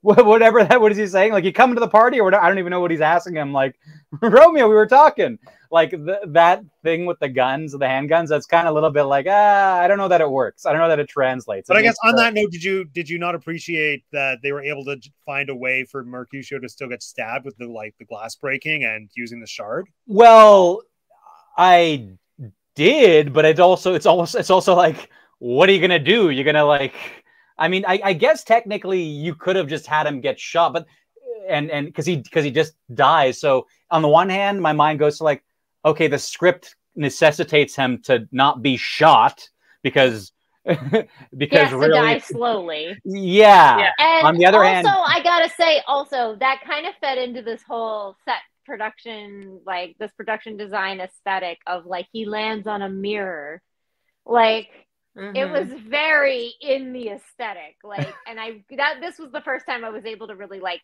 look past that, like, I like and see it for what it was. That whole area is just set up. I mean, it's it's set up for them to eat up the scenery. Like you are supposed to eat up the scenery there. and they keep going back to it, right? Like, because that's also where they got ready for the party. because it's supposed to look like a stage. Yeah, and it's also in the like opening credits like slide if you have the digital copy or whatever. It's just like keep going back there for sure. Yeah, It's yeah. cool. So I feel It's like cool they- and they- scary. Like I always remember being scared of that It's set, very even when they're getting ready for the party. Yeah. Yeah. and when they roll the blue clouds in during all of that, like all that that post production, Mhm. like weird lighting stuff going on, like that was just magical. But like I feel like in that particular scene, they're feeding into that. Like they Mhm. really are using it. Um and to that point, that scene when he's dying of the slice right here is another scene where it is painfully obvious that they strayed away from blood. Like Yeah, you don't even know what has happened. You're like, oh, yeah, yeah, and he's like fine. I guess He there's a little bit gonna of like live. blood there, but and then Also, it's not bleeding out. like, He's fine. He's just Also, when- I yeah, understand. when Juliet shoots herself as well. Or yeah. Oh, yeah. That was a Oh, big one. Like the, just the lightest the volume. And then the that- white linen is clean. yeah. Yeah, just the lightest puddle. spray You see the on Romeo's face, right? But he's That still god, pretty. that magnum, that giant ass pistol, just like. Yeah. I, Yeah. I, I would prefer to see smallest Rome's entry feet versus like I don't want to see little- her cute Claire little- little head boy. blown off. That ruins the tragedy. No, I know. Then, I then wasn't. give I was fine with it, but get a little also- purse pistol. You know those little. Yeah, like little- exactly. Don't make it like here's a Glock. and make a little pop sound. like what? Don't give me a bazooka exploding and But- the giant, gosh darn, you know. Yeah, and Nine like, I have to pull this thing back with my whole hand. so obviously they still wanted Mercutio to be stabbed, but they didn't care about that with Juliet's death. They're like, yeah, yeah, yeah, go right. So it's the gun. it is So- interesting. Because Yeah. I think at that point, honestly, like also they're trying to tell this story of 90s gun violence, which thanks, Boz Luhrmann. We all listened. Doesn't sound like the rest of America did. Sorry about it. Uh, but like, Uh, I, it's just like I think that's driving that point home. Mhm, Also, this whole thing. it would have been easier for her to burn herself to death in that church at that point, honestly. Yeah, just like your. Oh, that was that would be a terrible way to go. Yeah. Well, out of, out of No. all the options, I think there's a lot more. There's a stronger impact to like the sound that comes with the gunshot, especially with how Yeah. quiet it is when it happens. Yeah. Well, dramatically, I think the gun out of all the options, like 96 Juliet has for unaliving herself, I think that's the one that makes the most sense. yeah. Yeah. mhm. Yeah. the algorithm's already already borked. Yeah, I know. We don't need unalive. K Dog and Fish are here. Sorry, I forgot to say hi to Funko friends. We love them. Um, bringing up what happened to Jesse Bradford. Swim fan. He's in Swim fan. What? That's Found my Swim like the best movie he's ever been in. Oh I yes, think- I don't Is think that a he's in Swim Fan. 2023? I think it's the I one. thought, The, was Balthazar. I thought he meant Benvolio, but yes, I'm Swim looking it up right now. It is so him. Get yeah, it's him. Yes. Oh yeah, I didn't I didn't get this out. Uh, Jesse Bradford was the uh, became the proud father of a baby girl in 2021. Eaton Life Father. Oh wait, he can't confirm if he's proud or not. The article just says he's a father. just have this in. We have to redact. Swim Fan think was a you're long. He was ago. in Swim Fan. Has he done anything recently? you know what, K Dog? I'd like to know how old you are then.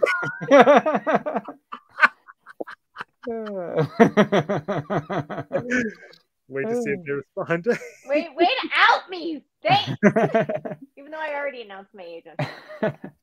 okay, but that the the thing that I never got to say was that yeah, when we first see Balthazar in this movie, that when he's sleeping in the car, that shot really looks like Matt to me. I thought I was he does. He I did a double take. Matt at I was times, like- for Did sure. you think it was me in 19? I didn't I didn't think it was like I I, I was like, oh wait a minute. Matt was minute. busy doing Disney Adventures in Exactly. 1996. Okay. that is my claim to fame. Oh, Alex isn't on Instagram. He doesn't have context for that. no. Oh, I was in a Disney magazine when I was younger. Um, Why would I have to be on Instagram to find that out? because I posted. Guys, look who else is here. It's Ben. Hey, Ben. It is quality boss. There's some quality bad Boz. yeah, Boz, Ben. Ben. Ben is a boss stand. oh, that's true, Elvis. But yeah, let's. Uh, Yeah. let's Uh, well, I'm gonna put Matt for Scar up on. I feel like if we're just gonna say the first name, I want to say Baz, Boz Luhrmann or whatever Yeah. is good, but I don't want to say Boz. We'll say Baz. We're just gonna say the one name. I want to say Baz, like Ba- Like, like, hey Baz. Somehow. it does. um, That's right. yeah. If if this doesn't make sense, watch the video I posted today. Uh, Yes, you'll, you'll have do. context. Not very many people did, um, but yeah. Well, I'm trying to convince the Lion King Toronto to give me an audition, even though I'm sure they. Are they still auditioning? I don't know. I mean, I guess they can always. It's an their power to always do it. That show's going to be here for over a year. They're going to have to bring in a new cast eventually, and so Probably. why long game hashtag Matt for Scar. Uh, there we go. Uh, yeah, Ben, it's Biz. Apparently, it's Biz. It's not Biz. Get out of here. Biz, You're Biz, trying to Biz say it with an Australian accent, Ben. Australian. Yeah, thank you. It's Biz. Baz. It's Biz. Wouldn't, from Australia. It's Wouldn't it be Baz? Baz, Really, Baz, it's Baz. Baz then, Biz. Baz is Biz. Biz. we, we have some more insight Crikey, into me Dog's age, um, and or Fish's age. So 22 years ago, I was still older. That makes sense. I would have been 14. That makes total sense. Yeah. Man, suntan. I referenced that movie more than I should, and I totally forgot he was that. in it. Right? this is why we're cautious of men. It's yeah. okay. Or It's anybody, really, because the chick yeah, that was a girl one. being psycho But- in that one. cautious of people. Mhm. I wish I had Uh. context, but we'll we'll do Swim Fan Month one day. You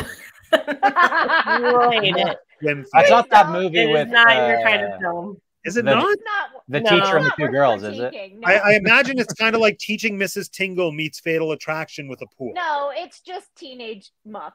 It's Yeah, it's it's not worth watching. No. He's the best biz in the biz.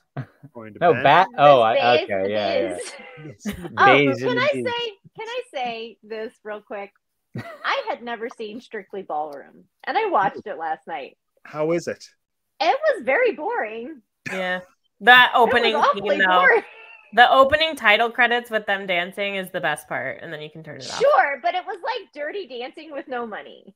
Yeah. hmm Did I was like- Like a low But- budget Dirty Dancing. I liked. I Yeah, liked imagine that. that were like this on people when they were like, "Ah!" that, like I liked that a lot. Um, but other than that, I was like, wow, this doesn't look anything like a Boz Luhrmann film, in my opinion. They all have to not- learn. Yeah, and then so lose I don't know. themselves with their last project, Elvis. It won, like, at a you. ton of Where did you awards. go? Oh, we love Elvis here. We're Oh, yeah. we we Not yeah, we're big We Elvis stan fans. Elvis. But I don't What like is- Elvis as a person or character thing I want to learn about. So maybe that was my Mhm. block there. That but- does I think that heavily affects. Well, you ain't nothing like a hound, but a hound dog. How many times did Ben see it? I feel like. I Oh God! In times. theaters, Ben was it three times in theaters? I feel like it was three times in theaters. I I- still I- haven't seen Like it. I was, I, I, I enjoyed Elvis, but hearing Ben's take on Elvis made me just it put Love me it more. a place where I was like, "This is the greatest movie." yeah, yeah, Miriam. If you listen to Ben's take on Elvis, you'll be like, "Oh my god." Five times. I'll listen to his take on it. Maybe it'll change my mind. Um. Also, while we're while we're here, the cinematographer. Has anybody looked up what the cinematographer has done? In addition, No, wait, wait. I want to guess though. Wait, has the cinematographer done things we've all heard of, like high-profile things? Oh yeah. okay, hold on. Um, oh, wait, are they the other Baz movies, Biz movies? There's possibly? there's at least one other Boz Luhrmann film, but he has worked a lot with one other very notable director. Ooh, I feel like he probably, as far as Boz Luhrmann, definitely did Moulin Rouge with the like tight. I would. Oh, I was going to guess. Most of the team was the same for Moulin Rouge for Mhm. this movie. That makes sense. So another movie that he would have done, huh? Um, or another director.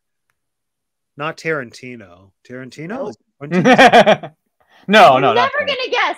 The styles are like not even the I'm same. gonna- At least I don't think so. I feel like I'm gonna guess like Wes Anderson or something. No. no. No. Uh, Christopher Nolan, Your close the first name is the same. Christopher Christopher Reeve. Nope. Nope. Nope. Just tell us. We've we've run out. We've given up. It's Chris Columbus.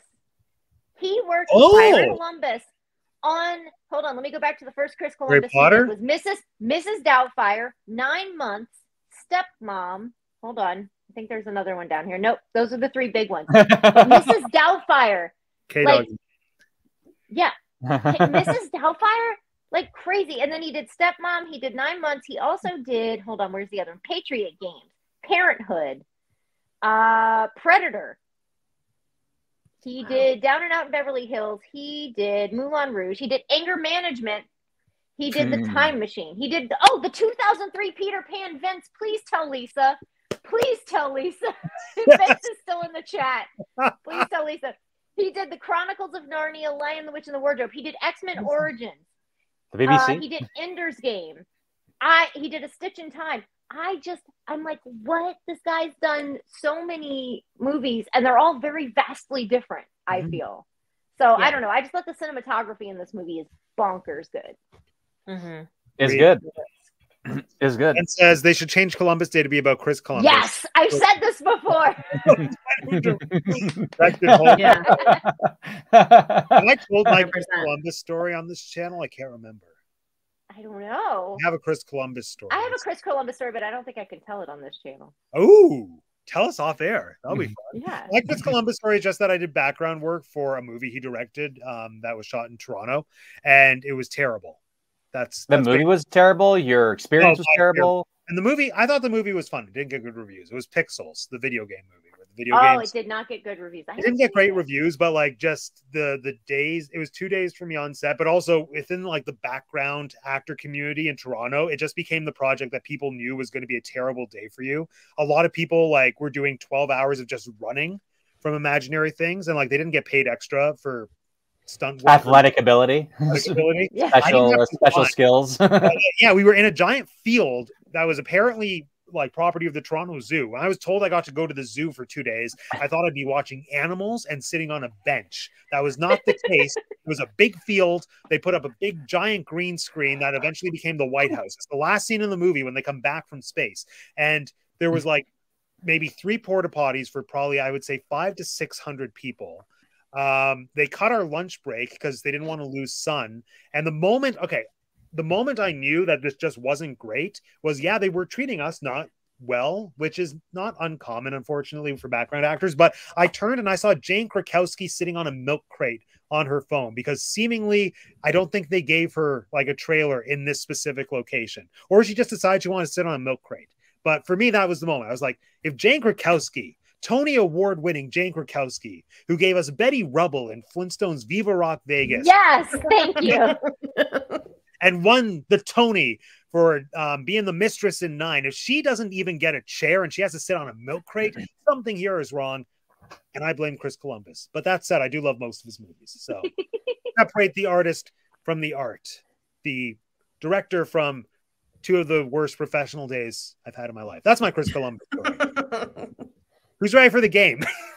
Game time! Let's do it. Oh, I, I want to shout out the. Uh, I I don't have the actor's name memorized, but he's also one, another one of my favorite actors. The uh, he's he's British and he always plays the British thing, but the priest. Oh, Oh yeah, Frontier. from James and the Giant Peach. Yeah. Yeah, well, from Oh, yes! Dragonheart is my classic film for him. But yeah, um, him. I never seen him doing a non-British accent. And granted, I don't think his American accent or like his non-British accent is like superb. I can hear his British coming out like all the time. But I'm so happy that I got to see him put on uh, like not his I accent. always wanted to see him Yeah. in an ob- in an Omen or an Exorcist film, and I don't think he ever did either one. And I thought he would have been perfect for it. I had no context for who that guy was until you just said James and the Giant Peach. And now I know. Yeah, Dragonheart. He's uh, he's in a number of things. Is he like Yeah. a fantasy film actor? Is he like a Hugo Weaving where he's just yeah, like- he usually yeah he usually plays like some fantasy. Uh, He's in. Guy. No, is he in? He's No, usually the narrator or the hmm. I think storyteller. he might be in the old- Kevin Costner Robin Hood, I believe. Maybe may be. that makes sense. Yeah, I think he's anyway one of the He would, merry he would be a duck or something. Apparently, Jane Krakowski had a wild story about how she was haunted by a ghost. In oh, that's fun. I love Jane Krakowski. Love it. Okay. Anyway, here we go. So for the game, it's a it's a game we've played before. You're just gonna fill in the blanks. I'm gonna. Oh wait, you- I also wanted to call out that scene. What what where does it happen? Where the the the uh the nurse there's a sh- there's a she's in the kitchen or something. There's a clo- there's a shot of her ass. It's like Juliet's like staring at. There's like just this one scene. I forget what thing, but it's just like she's like the camera's centered close up on her ass, and she's like rummaging through, and Juliet's like just staring, and then like she like turns around and something. I was like, Yeah, I can't tell. Juliet's like, into asses. because that It's house anyway. is like definitely not the Capulet mansion. Did she just go to her nurse's house to like bother Yeah, her? I No, know. I don't. So this is the house. This No? is another case of I don't think they built this set and I don't think they filmed in one location. I think he did like the Stanley Kubrick thing where he's like, I like that room in this place and I like that room in this place and I like that room in this place. We're gonna film in there and we're gonna call it one house. Like that's what this felt like to me.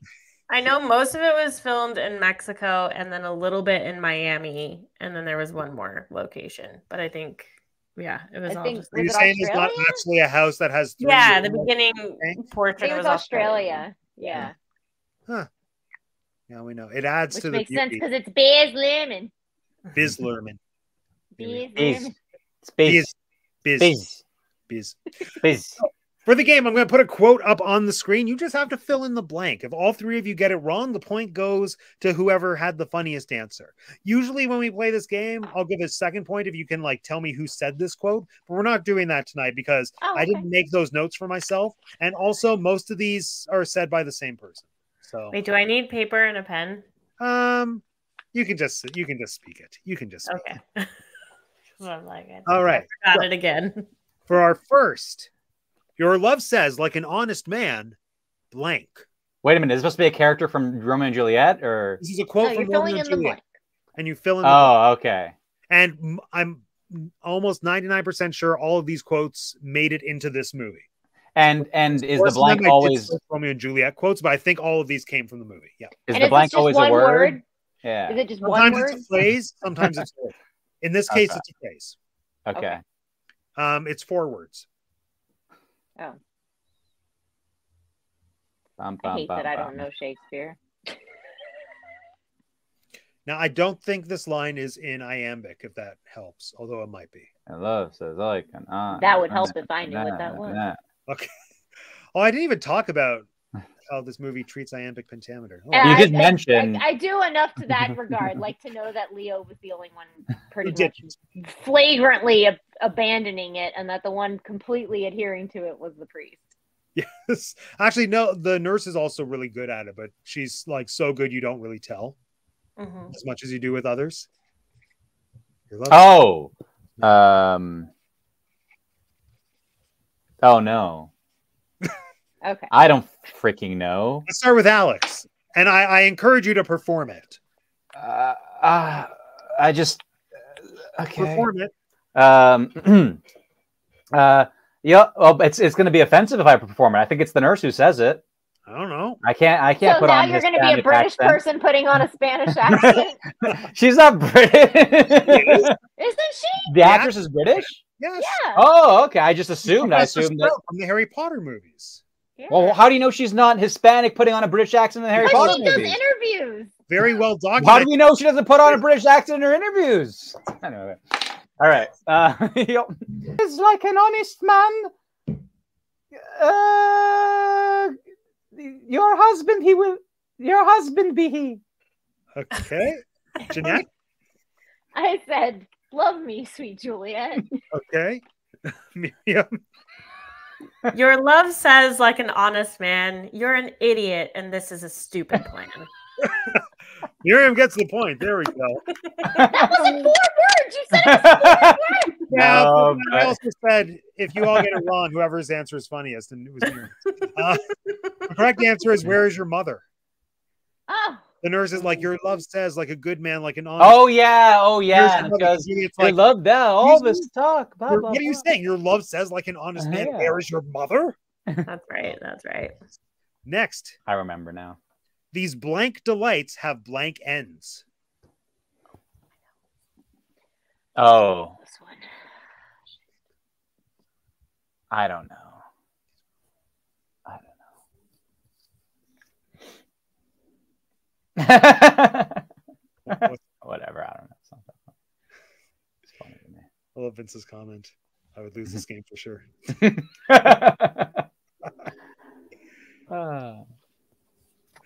Uh, let's That start with one- Miriam. I thought I knew, but maybe not anymore. I think is it these violent delights have violent ends? Maybe. Jeanette. oh, that's a good idea. Yeah, I also said violent. I Alex? couldn't remember if it was decadent or violent. I went with violent. Okay. Violent. Uh, all right. These Turkish delights have burnt ends.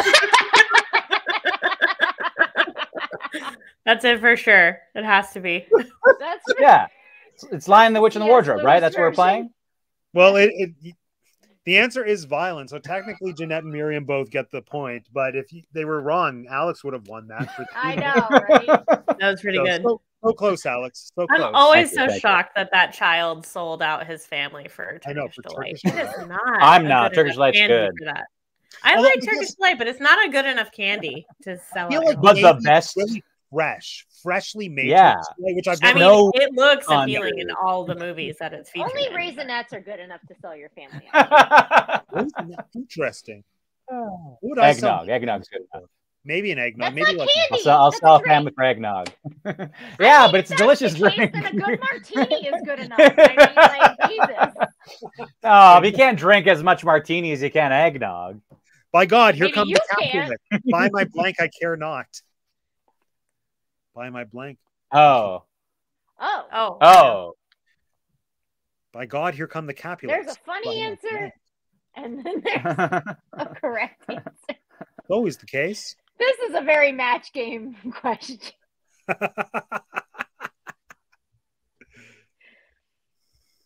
I forget what I he just says. can't get my answer out of my head enough to think of. See that?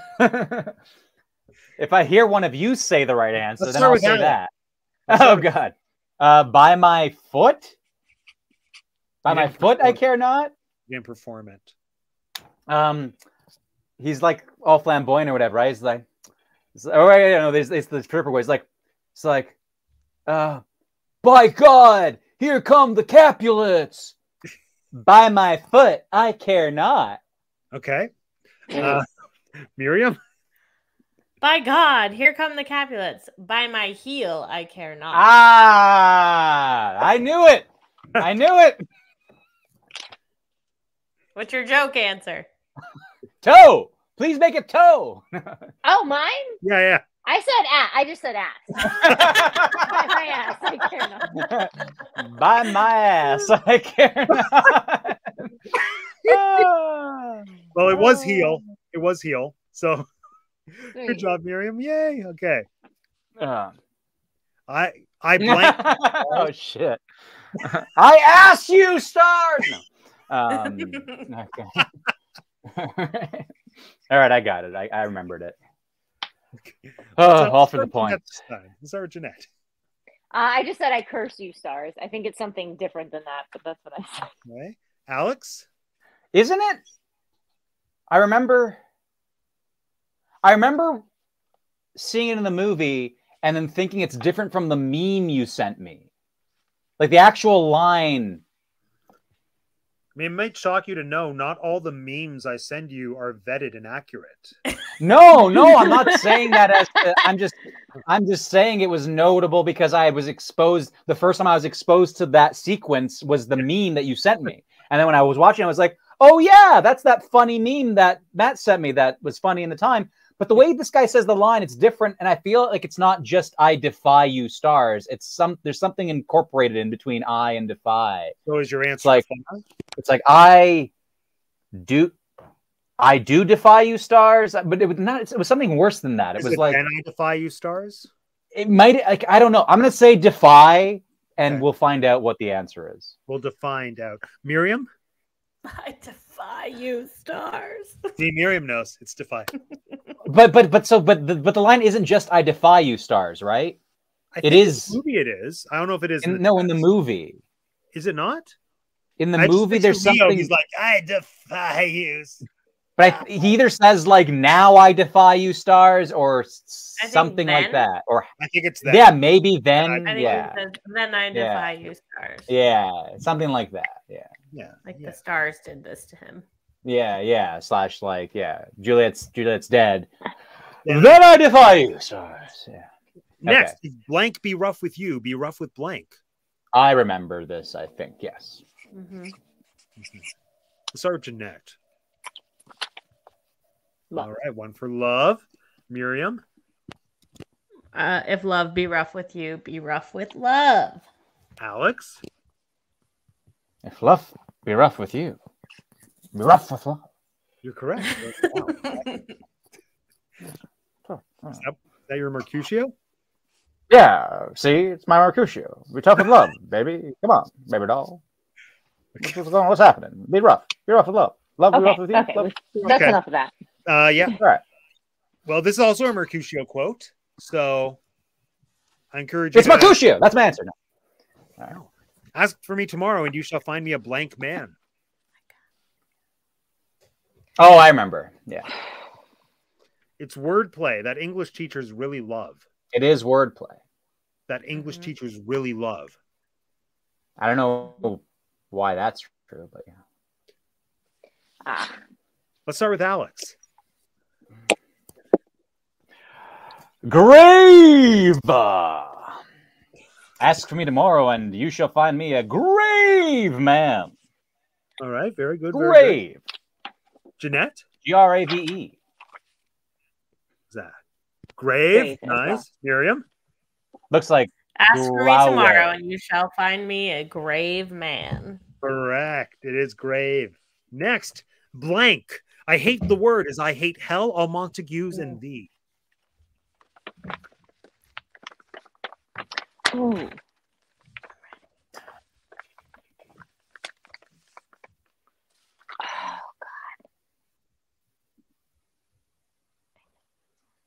what is? I remember it's Tib- it's Tybalt. He's talking to Mercutio. Mhm, But what does he say? Oh, I remember now. You remember now. I remember now. God. You remember. You remember meow. Yeah. See, I thought so with the grave thing, it would have been funny if I would have been like like cemetery, a cemetery man, or you know, graveyard, and then you know, I'm gonna write two but- words and cross one out. Yeah, see, that's the I need to think of a joke because I can't think of a funny synonym for this word. Uh, Okay, we'll come to you last. Miriam, let's start with you. Peace. I hate the word, as I hate hell, all Montagues, and thee. Nice. Jeanette? Peace. It was war or peace. I couldn't remember. that's a funny one. That's a funny one because of War and Peace. Yes. Um, Sasha Pierre. Alex. Asha Pierre, Comet. Uh, yeah, p- Peace. Peace. Comet has no right being a title character in that musical. I will. I That's will true. take that to my grave. True. Um, it was only there for the marketing. Next, I talk of blank, which are the children of an idle brain. Uh, okay, I remember this line.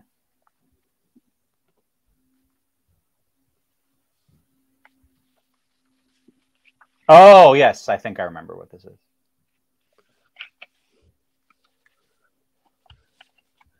Hmm. I think. You think? I think, therefore, I am.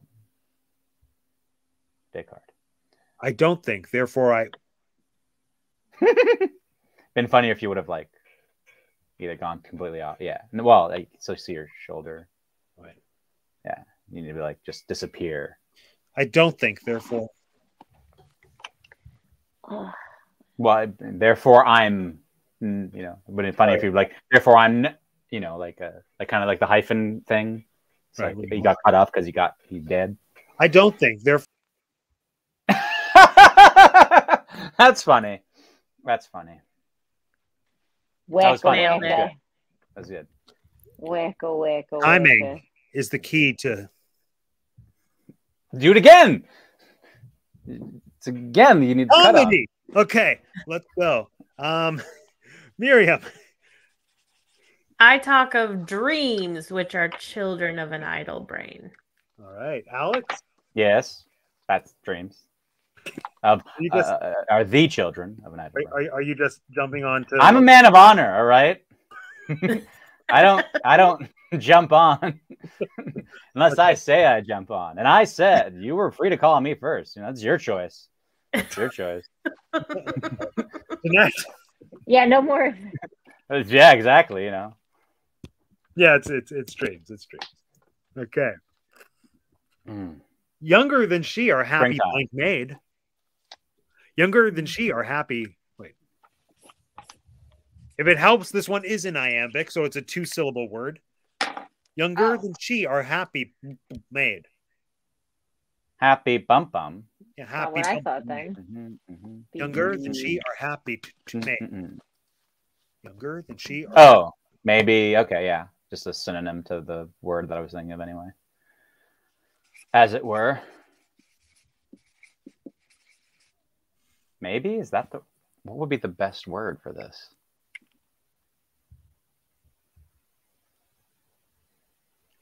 I don't know. Yoda guessed Riz for one of them. I still don't know what that means. I speak of Riz. Which are the two? Yeah. I hate charisma, specifically with The courtship and yeah, mm, whatever. Mhm. actually Human Riz mating works, rituals. Riz works for all of these. Your Mhm, love says mhm. like an honest man, Riz. These Riz delight. Happy Riz made though? That doesn't make sense. Um, Rizlets by my Riz I or care. not. Rizzlings. I Riz. Riz, I hate the word. As I hate hell, Hold on to- Yeah. life itself, and you. Okay. Let's start with Alex on this one. Yes, my answer is um What are you looking at? maidens, maidens, maidens. Okay. Happy maidens. Okay. Okay. Maidens. Next. Uh, I said young wives because I thought it was just wives. So I said See, I young did too. wives. Miriam. Younger than she are happy mothers made. There we go. Mothers. Mothers. That makes the most You said it was two words, or did you say two syllables? Two syllables. Two syllables, syllables. syllables. Yeah, yeah. And final from the regular round, you blank by the book. Ah, I remember the line. I remember the word. Do you? I claim I do. There's only one way to find out. There is. There is. Let's go. Tell us. Tell us, Alex. Kiss. You kiss by the book. Do you? Okay. You just kissed, and then she's like, "You kiss by the book." Jeanette. I just said play by the book because I assume that's where this came from. Okay. Miriam. You kiss by the book. It is Kiss. So hold on. How many points do we all have? Miriam. This movie does a lot with kiss. There's that song with the lyrics keep coming, and I'm kissing you, or I kiss you, or whatever. That happens Mhm. all, a lot of times. A lot of kissing, whether actual or verbal, in this film. Yes, this movie was well to Miriam's point with the costuming and hair design, but also the movie and set production started and also carried on a somewhat already started, like really revved up a an aesthetic for young girls in this country of Yeah. cathedrals, slutty cathedral look is what I like to call it. Mhm. uh, and uh, and it went with the with the nice, crazy, like Miriam said, crazy detailed hair that somehow looked effortless. Uh, Yeah. the, the, Let me the tell you, that lights. halo, that halo hair is effortful, and I still, after 15 years of doing hair, cannot do it. So I don't know how they did it.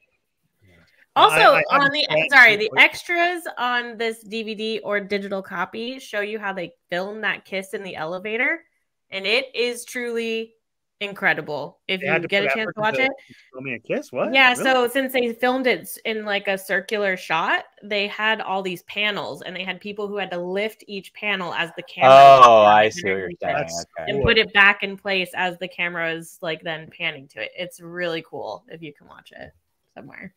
Not as cool as Bullet Time in The Matrix, but still really cool. There you go. And when are, Same. when are we doing Same thing. Matrix month? You're well. We'll see. Uh, speaking of the Matrix, I'm excited for you to see Titus because Yes, I am very excited to see. it was made around the same time, and they do they do the Matrix effect at least once. From what Bullet I, Time. All Bullet Time. yeah. I think it might happen more than once, but I, I know there's at least one scene where they do like there is Matrix action happening. It's, it's Bullet Time. It's, it's, it's called Bullet Time. Okay, it's bullet time, sure. Um, so here we go. The points are Jeanette has five, Alex has six, Miriam has a perfect 10. I don't know when that has ever happened in these games. So well done. Because So I got the joke answer right. Oh my god. So now we get to pick how many points we want to wager for the bonus question. Um, there will be it, it is two parts. It's not the same format. Um, and it's an unconventional bonus question, but you just have to go in blindly. How many points would we all like to wager? Alex, we'll start with you. I'm gonna do uh five. Yeah, five. Jeanette, All in. Fine. Okay, Miriam. Uh, six, I guess. Yeah, No, okay. one. There's One, two. Sorry, two. two. Okay. Please. Very smart. Um. All right. This is a two-part answer. So if you got one part correct, you will double your, or you will add your wager. If you get both parts correct, your wager will be doubled and added on. And if you get anything wrong, it's subtracted. Probably. I don't know. So here we go. Here we go. Unconventional, but there is a right answer. There are two right answers. Who is my favorite character in this play and why? And now, not the movie, Romeo and Juliet. Who is Matt's Oh, character in Romeo and Juliet and for what reason?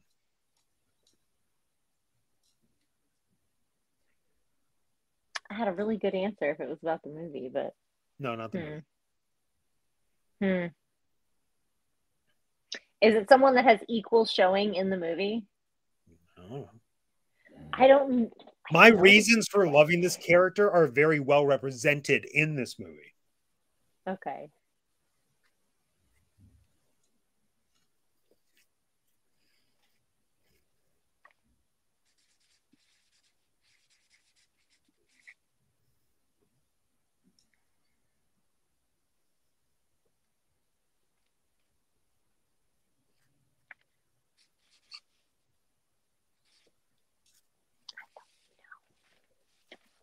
Um, I've given very overt clues.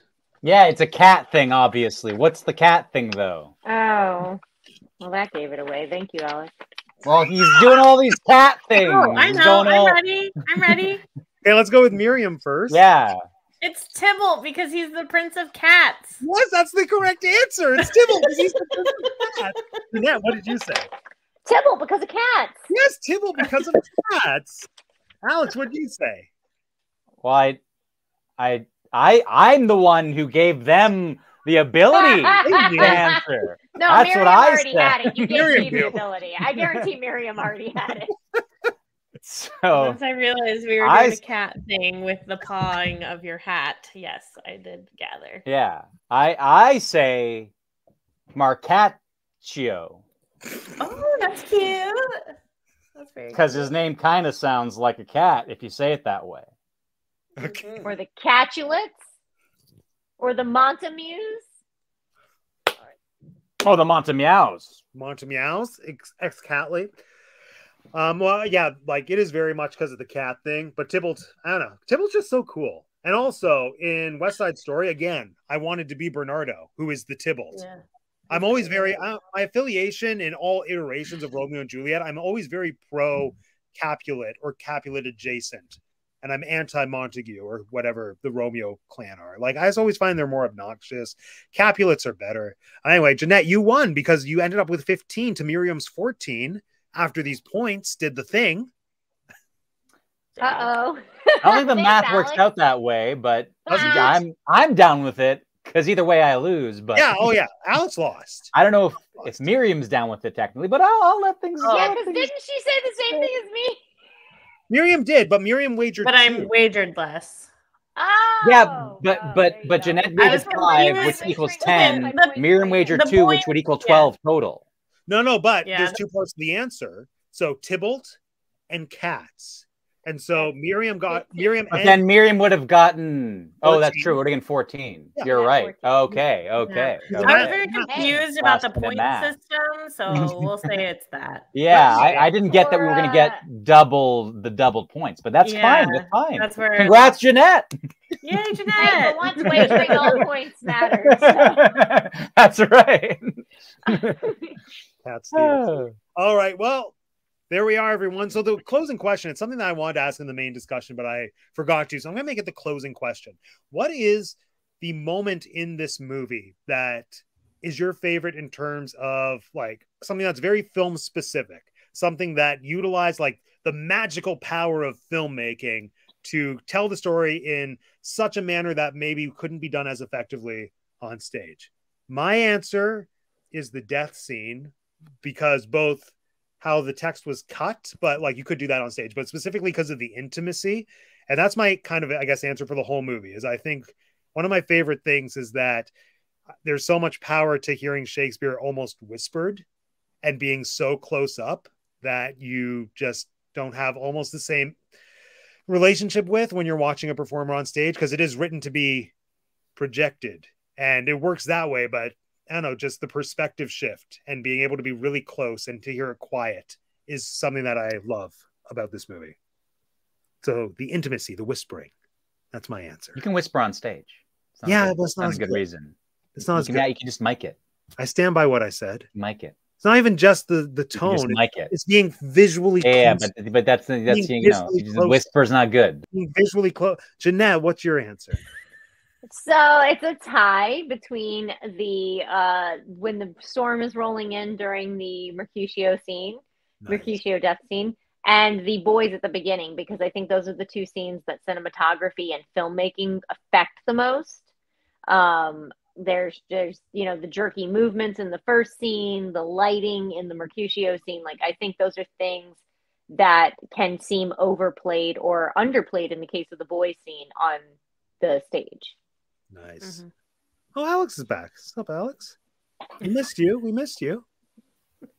Yeah. Yeah. Miriam, what what what's your answer? Uh, for me, it's the love at first sight fish tank moment. You can't do that. Like, what? They just see each other in masks at this party, like on stage. It just doesn't have the same impact as seeing them see each other through the fish tank. And also the pool scene. I think it's a much better interpretation than the balcony. Balcony, he's like hanging off the whole time and like, can we wrap this up? I'm tired. And the pool just, it just works. And they're in Love the it. yeah. Alex. I don't. I, I'll say I do. I, I thought it was uh, the boys' introduction was very entertaining. The the, the close up on the uh, those killer uh, boots that Tybalt is wearing. I love. I love his footwear.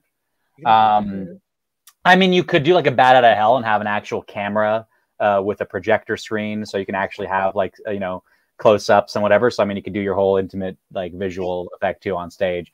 It's all possible. Stage is, is better than film, but um, uh, yeah, no, I think so. So that one kind of to, to piggyback on on Jeanette's answer, and then alternatively as kind of like a uh, a jokey answer. It's the uh, the uh, the inner monologue that ran arbitrarily happens in this movie. I mean, it's there's the one uh, the most like justified is I think like at the point of the end. There's like a inner inner monologue happening with um, uh, Romeo where he's like writing shit down uh, down on his uh, little book. But uh, there's like there's the the part where there's one that Juliet does like uh, you know 70% through the film or something. And I, that was the first time, as far as I knew, it was the, the first time they even introduced that in the movie as like text that's going to just happen inside somebody's head and not be spoken aloud. She did the whole like laying in bed by herself and daydreaming scene. That was all spoken out loud. But then there's this one scene where she's like, I forget what she's talking about. I think she's maybe worrying Oh, about is something. when she's uh thinking about what's gonna happen when she takes the poison. She's like, is it actually poison? Am I gonna die? Maybe, maybe it's that. It was something that I remember being like, this doesn't like the text doesn't. It's not like written in such a way where it's obviously a good choice to have this be an internal monologue moment. It's like, be, especially because we've had those moments where they're alone and, and there's and they verbalize anyway. So I was like, we've already established the convention that you're going to say the text like you know as it is.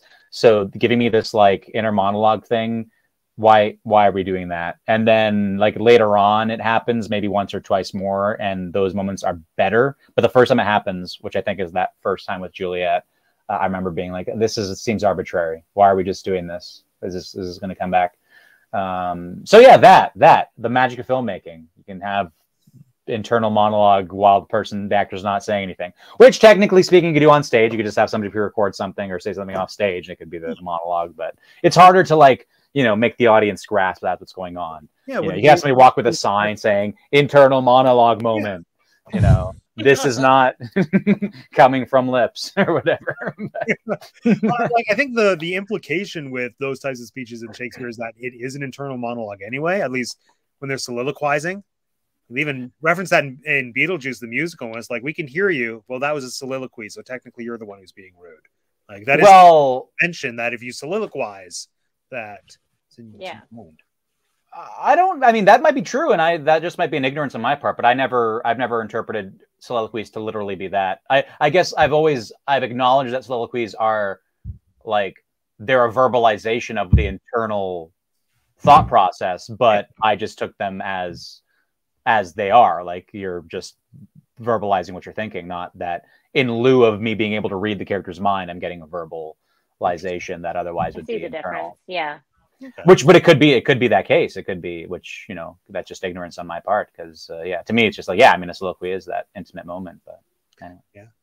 Yeah, I, I guess bonus answer from me since Alex made me realize that my answer could be done on stage. I enjoy the cutting and the editing, specifically within scenes that on the page I think are uninterrupted flows of uh, dialogue or speech that in the movie they just switch from setting to setting and then it still makes Yeah. perfect sense in some kind of montage type specifically like when uh the prince slash police chief is in the helicopter yelling at them then it cuts to them in the like the the police office place since that uh, stretch of speech i think is pretty well uninterrupted on stage but it just works so well switching up the uh, the setting and then just for the storytelling i think like things like that to filmicify it are so are so good so good. Love it. Mhm. Anyway, hooray! I oh this was so much fun. I love talking shakespeare. I love talking movies. I'm excited for the next three weeks.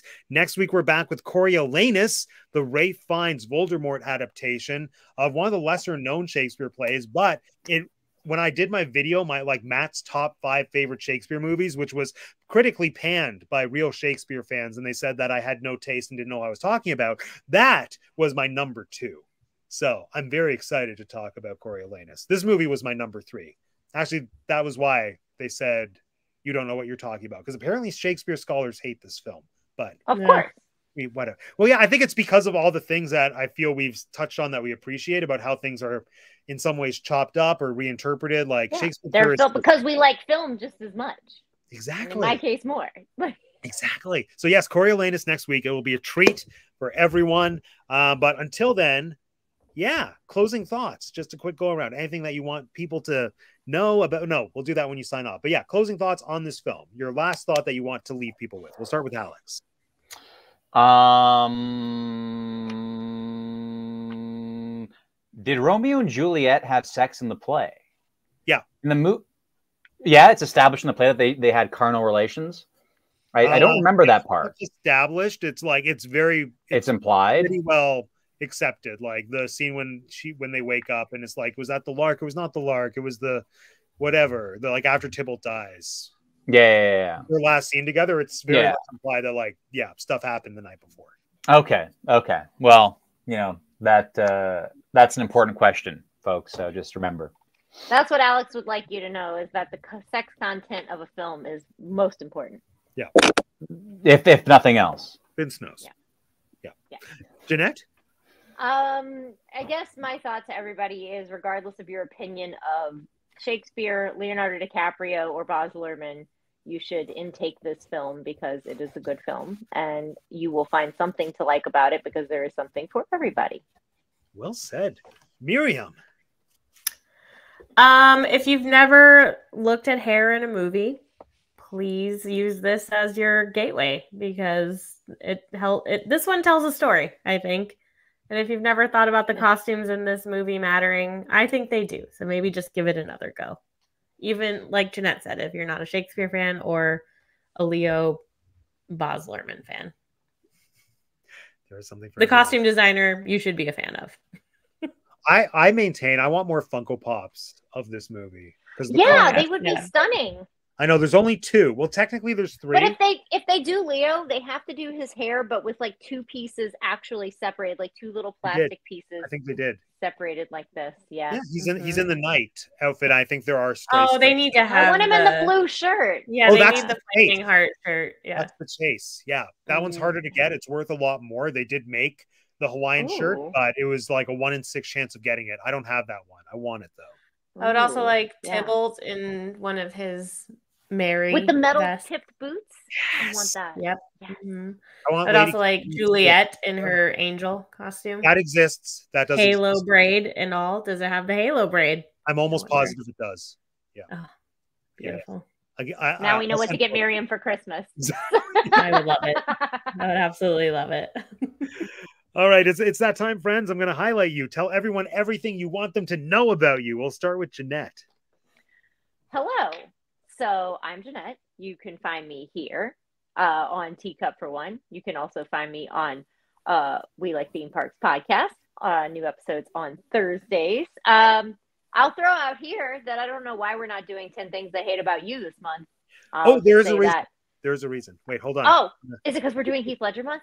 No, it's because it's because um, I I wanted this to be focused on adaptations that use the text and do either a full marathon or a mini marathon of movies that are adaptations, but very close adaptations that Very are. Very close. Yeah. So it would be like West Side Story, Ten Things. I think there's an Othello called O with Julia Um, Stiles as well. And- ooh. so and it's you should also put she's. Can Oh, you and please She's put the Man. she's the man? that's the other that one. So, I, I want that to be its own thing because Oh my god, if you do She's the Man, Aaron might come on here. Please. Like like yeah, Aaron Aaron loves that movie so much. Um, who doesn't love that movie? Poor Amanda Bynes. oh my god. There go. Oh, Back- so yeah, ma'am. so you can find me here, and then you can find me on We Like Theme Parks, and you can find me at TinkerJ787 on Instagram, and uh, follow along with all the fun I have, whether it's Disney or this or Baltimore or my hometown. So yeah, Yay! come find me. Thanks, Jeanette. Oh, it's my turn. Um, turn. I'm Miriam. I'm also on We Like Theme Parks on Thursdays. Uh, I also have a, a horror podcast called Basically Haunted. And I just started a new uh, book Instagram with some of my friends, and it's called The House of Stars and Swords. So if you are into fantasy novels, please come check that out. And also, my regular page is the Churro Fund. There's lots of places you can come find me. That's it. Woo! Thank you, Miriam. Alex. Yes, I am Alex. Um, let's, uh, let's see if we can. All right, let's. Uh, uh, hold on. Let's get, get, get, get a it. shot of this. Get, get a shot of this. By my heel, I care not. All right, all right. Look at that. It it goes behind. I'm I'm doing it, Ma. Wait. Uh, okay. Now, now for the other one. Okay. Okay. Okay. If, if Okay. you do the other one, are you going to fall off of whatever chair you're sitting on? Ah! Ah! And with that, friends, this concludes yet another episode of the Teacup for One movie marathon. My name is Matt, and I have two degrees. Once again, join us next week where we will be discussing Coriolanus, starring Ralph Fiennes and Gerard Butler, as well as Jessica Chastain and one of the Richardsons, the Redgraves is one of them. I don't know. We'll find out next week. Thank you, friends. Um, my name is Matt. I have two degrees. What happened to Alex? Whew. You okay? Yeah, that was a bit of a stumble, but uh, you know we're back. You made We made uh, it. No, we're just leaving though. We're done. Whew. Well, I mean, you might be done, but uh, but that was a rush. I'm uh, Sure I'm gonna go again. Okay. Well, have fun. Um, thank you, everyone. We will see you next week. Well, I'm just I'm I'm doing my guys. See ya. Bye. Like, are it we? do, I just need to. You do that off air though. How do? Yeah, yeah. Just let's. Yeah. Yeah. Can you How do- just kind of go? Can you, you- let me? How do you end? How do you? End I got this? I got a foot. Do I got a foot that's going behind, How do you? End and another foot I don't understand. and then